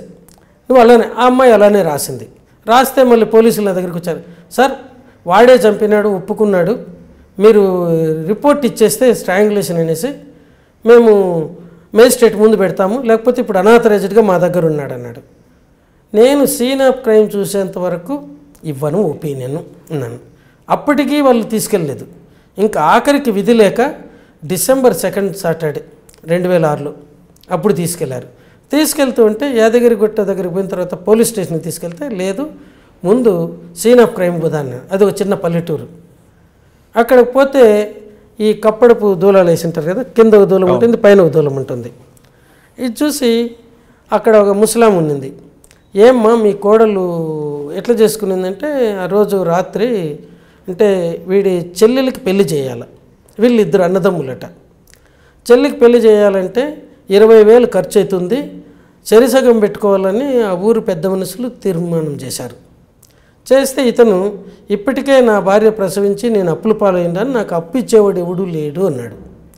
అప్పు ఇచ్చేవాడు ఎవడూ లేడంటే ఆ పెద్ద మనుషులు నీ భార్యను పోయి వాళ్ళ పుట్టింటికి వెళ్ళి ఆ పైసలు తీసుకొని రమ్మని చెప్పి తీర్మానం చేసి పోయినారు. ఇంకా వీళ్ళు ఏడ్చుకుంటూ ఉన్నారు. ఎందుకంటే ఆ భార్య చెల్లెలకి ఈ మధ్యనే వాళ్ళ పేరెంట్స్ పెళ్ళి చేసి వాళ్ళ అప్పుల్లో ఉండారు. ఇక్ పదివేల కుసరం. ఎంత భయంకరంగా ఉంటుందంటే సిచ్యువేషన్లో ఇంక ఏడ్చుకుంటా అంటే తర్వాత మామూలుగా వేసవికాలంలో ఆరు బయట పడుకుంటారు. తల్లి కొడుకు పోయి బయట పడుకున్నారు. ఈమె లోపల ఏడ్చుకుంటూ అట్లే ఉన్నింది. తెల్లవారుజామున సౌండ్ వస్తే వీళ్ళు వస్తే ఈ అమ్మాయి వేలాడుతూ ఉన్నింది. ఈ లోపల వీళ్ళు చే కేకలకు చుట్టుపక్కల ఉండే వాళ్ళు వచ్చి ఒక ఆయన ఈ అమ్మాయిని దించి కింద పెట్టారు. దీంట్లో ఫోటోలు ఉంటాయి. మీకు పంపించండి దాంట్లో చూడొచ్చు. తర్వాత ఇంకొక అతను గబగో పైకి ఎక్కి ఆ చారి మూడి పీట మూడి ఇప్పేసినాడు. ఇప్పేస్తే మళ్ళీ వేరే అతను అరే ఇది పోలీస్ కేసు మళ్ళీ పైన కట్టు ఉన్నారు ఆ కట్టేటప్పుడు అతను ఇట్లా జా జార్చి పెట్టాడు. సో ఈ రెండోసారి వేసిన ముడితో అందరికీ అనుమానం వచ్చింది. అంటే ఫస్ట్ టైం ఆమె సూసైడ్ చేసుకుంది. చేసుకునింది. ఆ ముడి కూడా ఇక్కడ ఉరేసి చంపితే గొంతు పీసి చంపితే ఇట్లా రావాలా కొంచెం చుట్టూ. ఇది పైన ఇట్లే ఉంది. క్లియర్ కట్ హ్యాంగింగ్ మార్క్ లేకపోతే మా అమ్మాయి ఎందుకు చెప్పేది నాకు డాక్టర్ గారు? హ్యాంగింగ్ మార్క్తో వచ్చింది సార్. క్లియర్ కట్ హ్యాంగింగ్ మార్క్తో వీళ్ళేమో స్ట్రాంగులేషన్ అంటున్నారని ఆమె చెప్పగలిగేదా? అందులోనే కొత్త డాక్టర్ పాపం ఇప్పుడు జాబ్ వచ్చింది ఆమె. లక్ష్మీ ప్రసన్న అని ఇప్పుడు గాంధీ హాస్పిటల్లో ఉంది. గైనకాలజీలో. ఈ అమ్మాయి. తర్వాత ఇది జరిగింది. ఈ అక్కడ పోయిన తర్వాత అది ఏ దూలానికి వేసుకునిందమ్మా నన్ను పైదానికి ఎనింది. ఇక్కడ అంత పైకి ఎట్లెక్కిందమ్మా అంటే ఇదేంది బిడ్డ ఇట్లంటావు? అనేసి వాళ్ళ ఇంట్లో చిన్న చైర్ ఉంది గాడ్రేజ్ చైర్ ఇదేంటి బిడ్డ ఇట్లంటావు ఆ ముసలామి ఇటు తీసుకొని చీర తీసి ఇట్లా వేసేయింది. వేస్తే ఇట్లా వచ్చింది జారుముడు వేసి ఇట్లా లాగింది. ఏముంది బిడ్డ దీంట్లో? అనింది. తెలంగాణ ఆయాసలో. అంత చిన్నదాన్ని వీళ్ళు కనుక్కోలేదు. వీళ్ళు రాసుకున్న పన్నెండు మంది విట్నెసెస్ ఎవరుంటారు పంచ విట్నెసెస్? ఈ పన్నెండు మంది కూడా అమ్మాయి ఊరు నుంచి వచ్చిన వాళ్ళు ఈ ఊరోళ్ళది ఒక్కడు కూడా రాసుకోలేదు. అంటే పేదవాడికి జరిగే అన్యాయం అలా ఉంటుంది. పైసలు ఉండేవాడికైతే వాడు నిజంగా చంపేసినా హ్యాంగింగ్ అయిపోతుంది. పేదవాడైతే ఏదైతే మనకెందుకు? వాడు తప్పు చేసింటే కోర్టు సీజ్ చేస్తుంది కోర్టులో పోయి వాడు వాడి తరపున పోయి నువ్వు చేయలేదని చెప్పి వచ్చే వాళ్ళు ఉంటారు? ఇవి కూడా జరుగుతుంటాయి. అంటే అక్కడ మరి ఆయన ఎందుకు ఒప్పుకున్నాడు చంపానని. అది ఎందుకు ఒప్పుకుంటారంటే ఒక చిన్న ఉదాహరణ చెప్తాను. ఒక బావిలో శవం దొరికింది. దాన్ని గాంధీ మార్చరీకం తీసుకొని వస్తే అప్పుడు అక్కడ రిపేర్లో ఉన్నింది ఓల్డ్ గాంధీ మార్చరీ ఉస్మానియాలో జరిగింది. అక్కడ ఇద్దరు అసిస్టెంట్ ప్రొఫెసర్స్ చేసినారు. గొంతు చుట్టూ ఉరి ఉన్నింది నీళ్ళు పొట్టలో లేవు ఊపిరితిత్తుల్లోన వీళ్ళు ఊరేసుకొని చనిపోయి బావిలు వేసినారు అనుకున్నారు కొత్త కాబట్టి. వెంటనే పోలీసులు అది త్రీ నాట్ టూ మర్డర్ అన్నారు. పోలీసులు రిపోర్ట్ కావాలని వచ్చినారు. నేను ఒప్పుకోలేదు. ముందు మనం చేసేదాంతో ఇంకోటికి కానీ మంచి జరుగుతుందంటే ఇమీడియట్గా ఇచ్చేసేయి. నెక్స్ట్ మినిట్లో మంచి చేసే అవకాశం నువ్వు కోల్పోవచ్చు. చెడు జరుగుతుంది అనుకుంటే కొద్ది నిదానించు. ఇంకా కొద్ది సమాచారం రాణిని ఆఖరికి విధులు లేక ఆల్వాల్ పోలీసులు తీసుకెళ్ళారు. తీసుకెళ్తే అక్కడ కూడా అంతే ముందు బావి దగ్గర పోతాము. ఆ బావి చతురస్రాకారంలో ఉంది. దిగడానికి మెట్లు లేవు. నీళ్ళు భూమి లెవెల్ నుంచి ఇరవై అడుగుల లోపలు ఉన్నాయి. ఎట్లా శవాన్ని తీసినారంటే మాకు తెలియదు అన్నారు అరే తీసినారా లేదంటే అది కూడా మాకు తెలియదు అన్నారు మరి ఎప్పుడు తెలిసిందంటే శవాన్ని గట్టును పెట్టి అది పూర్తిగా ఆరిపోయిన తర్వాత లేట్ ఇన్ఫర్మేషన్ ఇచ్చినారు అన్నారు. ఆ బావి గట్టున పొలం ఉంది. ఆ పొలంకు ముళ్ళకంచె అంటే ఇది బార్బుడ్ వైర్ ఫెన్సింగ్ ఉంది. దూరంలో ఒక ముసలాయన ఆవులు మేపుకుంటున్నాడు. తాత ఇట్రా అన్నాను ఏ నాయన అని వచ్చినాడు. ఈ బావిలో ఎనిమిది రోజుల కింద ఒక అమ్మాయి శవాన్ని తీశారు. నీకేమైనా తెలుసా తాత అని అడిగినాను. అడిగితే ఏంది బయట అట్లా అడుగుతావు? నా కళ్ళ ముందే కదా ఆ బిడ్డకి ఏం ప్రాబ్లం ఏమి కర్మ పట్టిందో ఏమో గడ్డి మోపు వారేసి దూకింది. ఆ అమ్మాయితో పాటు ఇంకా నలుగురు గడ్డి మోపులు మూసుకొని వస్తూ ఉన్నారు. వాళ్ళు వేసి పారిపోయిన వాళ్ళు ఊరికి పోతే వాళ్ళు రెండు చేతాలు తీసుకొని వచ్చినారు. నేనే చెప్తే ఈ ముళ్ళ కంచెలోడిది ఒక ముక్క కొట్టి దానికి వేస్తే చీర పట్టుకొని పైకి తేలింది. ఇంకొక తాడుకు ఊరేసేస్తే అది తల నుంచి పోయి మేడకు పెట్టుకుని పైకి లాగేసినారన్నారు. ఓ. అంటే అతనికి ఎందుకు అడుగుతున్నానో కూడా తెలియలేదు. దాన్ని కూడా వీళ్ళు ఇన్వెస్టిగేట్ చేయలేదు. తర్వాత పోలీస్ స్టేషన్కి పోయినాను. ఈయన అప్పటికి ఇంకా పాపం అనాథరైజ్డ్గా ఉన్నాడు పోలీస్ స్టేషన్లోనే బ్యారక్స్లో ఉన్నప్పుడు పిలిచినాను వణుకుతూ వస్తున్నాడు దొర కొట్టద్దు దొర కొట్టద్దు దొర అనేసి. నాయన నిన్ను కొట్టే అధికారం నాకు లేదు నీకేమైనా దెబ్బలు తగిలితే మందు పెట్టడానికి వస్తాను. అసలు నువ్వు చేయని తప్పు నువ్వు ఎందుకు ఒప్పుకున్నావు? అసలు ఏం జరిగిందన్నాడు. ఆ రోజు ఈమె ప- వీళ్ళు ఎక్కడ కూలి పని చేస్తుంటే సద్దన్నం తీసుకెళ్ళిందట తినడానికి. బాగలేదట కూర. అందరి ముందు భార్యను తిట్టాడు. తిడుతూ ఉంటే ఆమె గడ్డి మోపు మూసుకొని వస్తూ ఏడుస్తూ వస్తుందట. ఎవరు చూడకుండా రెండు తన్నింటే మాత్రమేమో అందరి ముందు ఇజ్జ ఇజ్జత్ తీశాడని. అక్కడికి వచ్చేప్పటికి ఇంకాస్త దుఃఖం అయిపోయి సడన్గా దూకేసింది ఇంపల్సివ్గా. అదే కేసు. అంటే పోలీసులు కొట్టిన దెబ్బలు తట్టుకోలేక వాడు మళ్ళీ చూపించాడు. ఇదిగో ధర ఈ కాళ్ళకు అంత దెబ్బలు చూడు. నేనేం చేయాలా? కనీసం జైలుకు పోతే అక్కడ తిండి పెడతారట ధర అక్కడన్న బ్రతాను ఇక్కడ తెచ్చేదానికంటే అన్నాడు. పోలీస్ స్టేషన్లో పోలీసుల ముందు. ఇవి జరుగుతాయి. ఓకే. దానివల్ల ఒప్పుకుంటారు. ఇంకా ఫైనల్గా చెప్పండి రిటైర్ అయిపోయారు. ఇప్పుడు మీరు ఏం చేస్తున్నారు ఏం చేయబోతున్నారు? ఇప్పుడు మీరు చెప్తున్న మీ డిపార్ట్మెంట్లో కరప్షన్ అరికట్టడానికి మీరు ఇచ్చే సలహా ఏంటి? నేను ఒక్కరిని చేతను కాదు. నేను ఇవన్నీ జరుగుతూ ఉండేటివని నిర్మోహమాటంగా చెప్తాను. ఒక్కోసారి మా కొలీగ్స్ పేర్లు కూడా చెప్తూ ఉంటాను. వాళ్ళకి బాధ ఇస్తుంది మా సార్ ఏంది మా ఇజ్జత్ తీస్తున్నాడని. ఎందుకంటే కనీసం అంటూ ఉంటేనా కొద్ది తగ్గిస్తారు అనేసి. అంతకు మించి చేయగలిగేది ఏమీ లేదు. తర్వాత ప్రజల్లో చైతన్యం రావాల? ఈ కాలంలో ఏంటంటే ప్రజలు ఎవరికైనా కరప్షన్ ఉండదంటే లేని చోటు చూపించుకొని ఎదురు ప్రశ్నిస్తున్నారు మనం వాళ్ళకి ఏం సమాధానం చెప్తాం? యువకుల్లో చైతన్యం వస్తే ఇవి తగ్గుతుంది. పెద్ద కష్టం కాదు. ఎందుకంటే వీళ్ళు చిలకొట్టుడు కట్టేవాళ్ళే. ఒకసారి గట్టిగా నిలదీసి పది మందిలో ఎందుకురా నీకు ఇవ్వాలంటే మళ్ళీ వాడు తీసుకోగలడా? ఇది నారాయణ గారు చెప్తున్న చాలా క్లియర్ వెర్షన్. అంటే కరప్షన్ అనేది కేవలం ఫోరెన్సిక్స్ మెడిసిన్లో కాదు ప్రతి డిపార్ట్మెంట్లో ఉంది. కానీ ఈ డిపార్ట్మెంట్లో కొంత ఎక్కువ కావడం దాంతోపాటు విజిబుల్ కరప్షన్ కావడంతో ఎక్కువ ఎక్స్పోజ్ అవుతున్నట్లుగా అని చెప్తున్నారు. దాంతోపాటు అది చాలా స్పష్టంగా చెప్తున్నాను ప్రజల్లో చైతన్యం వస్తే ఈ కరప్షన్ అనేది కేవలం మెడికల్ డిపార్ట్మెంట్ కాకుండా అన్ని డిపార్ట్మెంట్లు కూడా కరెక్ట్ కంట్రోల్లో చేయించినది నారాయణ రెడ్డి గారి వెర్షన్ ఇది ఈ వారం ప్రైమ్ డైరీస్లో మన నారాయణ రెడ్డి గారి గెస్ట్ వచ్చే వారం మరో గెస్ట్లో మళ్ళీ కలుద్దాం. అంతవరకు థ్యాంక్ యూ సార్ నా పేరు డాక్టర్ నారాయణ రెడ్డి అండి. నేను retired professor of forensic medicine Osmania medical college Osmania general hospital. పంతొమ్మిది వందల ఎనభై ఒకటి నుంచి పంతొమ్మిది రెండు వేల పదకొండు సెప్టెంబర్ వరకు గవర్నమెంట్లో పనిచేశాను. ఈ కాలము ఎక్సెప్ట్ ఒక సంవత్సరం తప్ప మిగతా కాలం అంతా కూడా ఫారెన్సిక్ మెడిసిన్లోనే పనిచేశాను.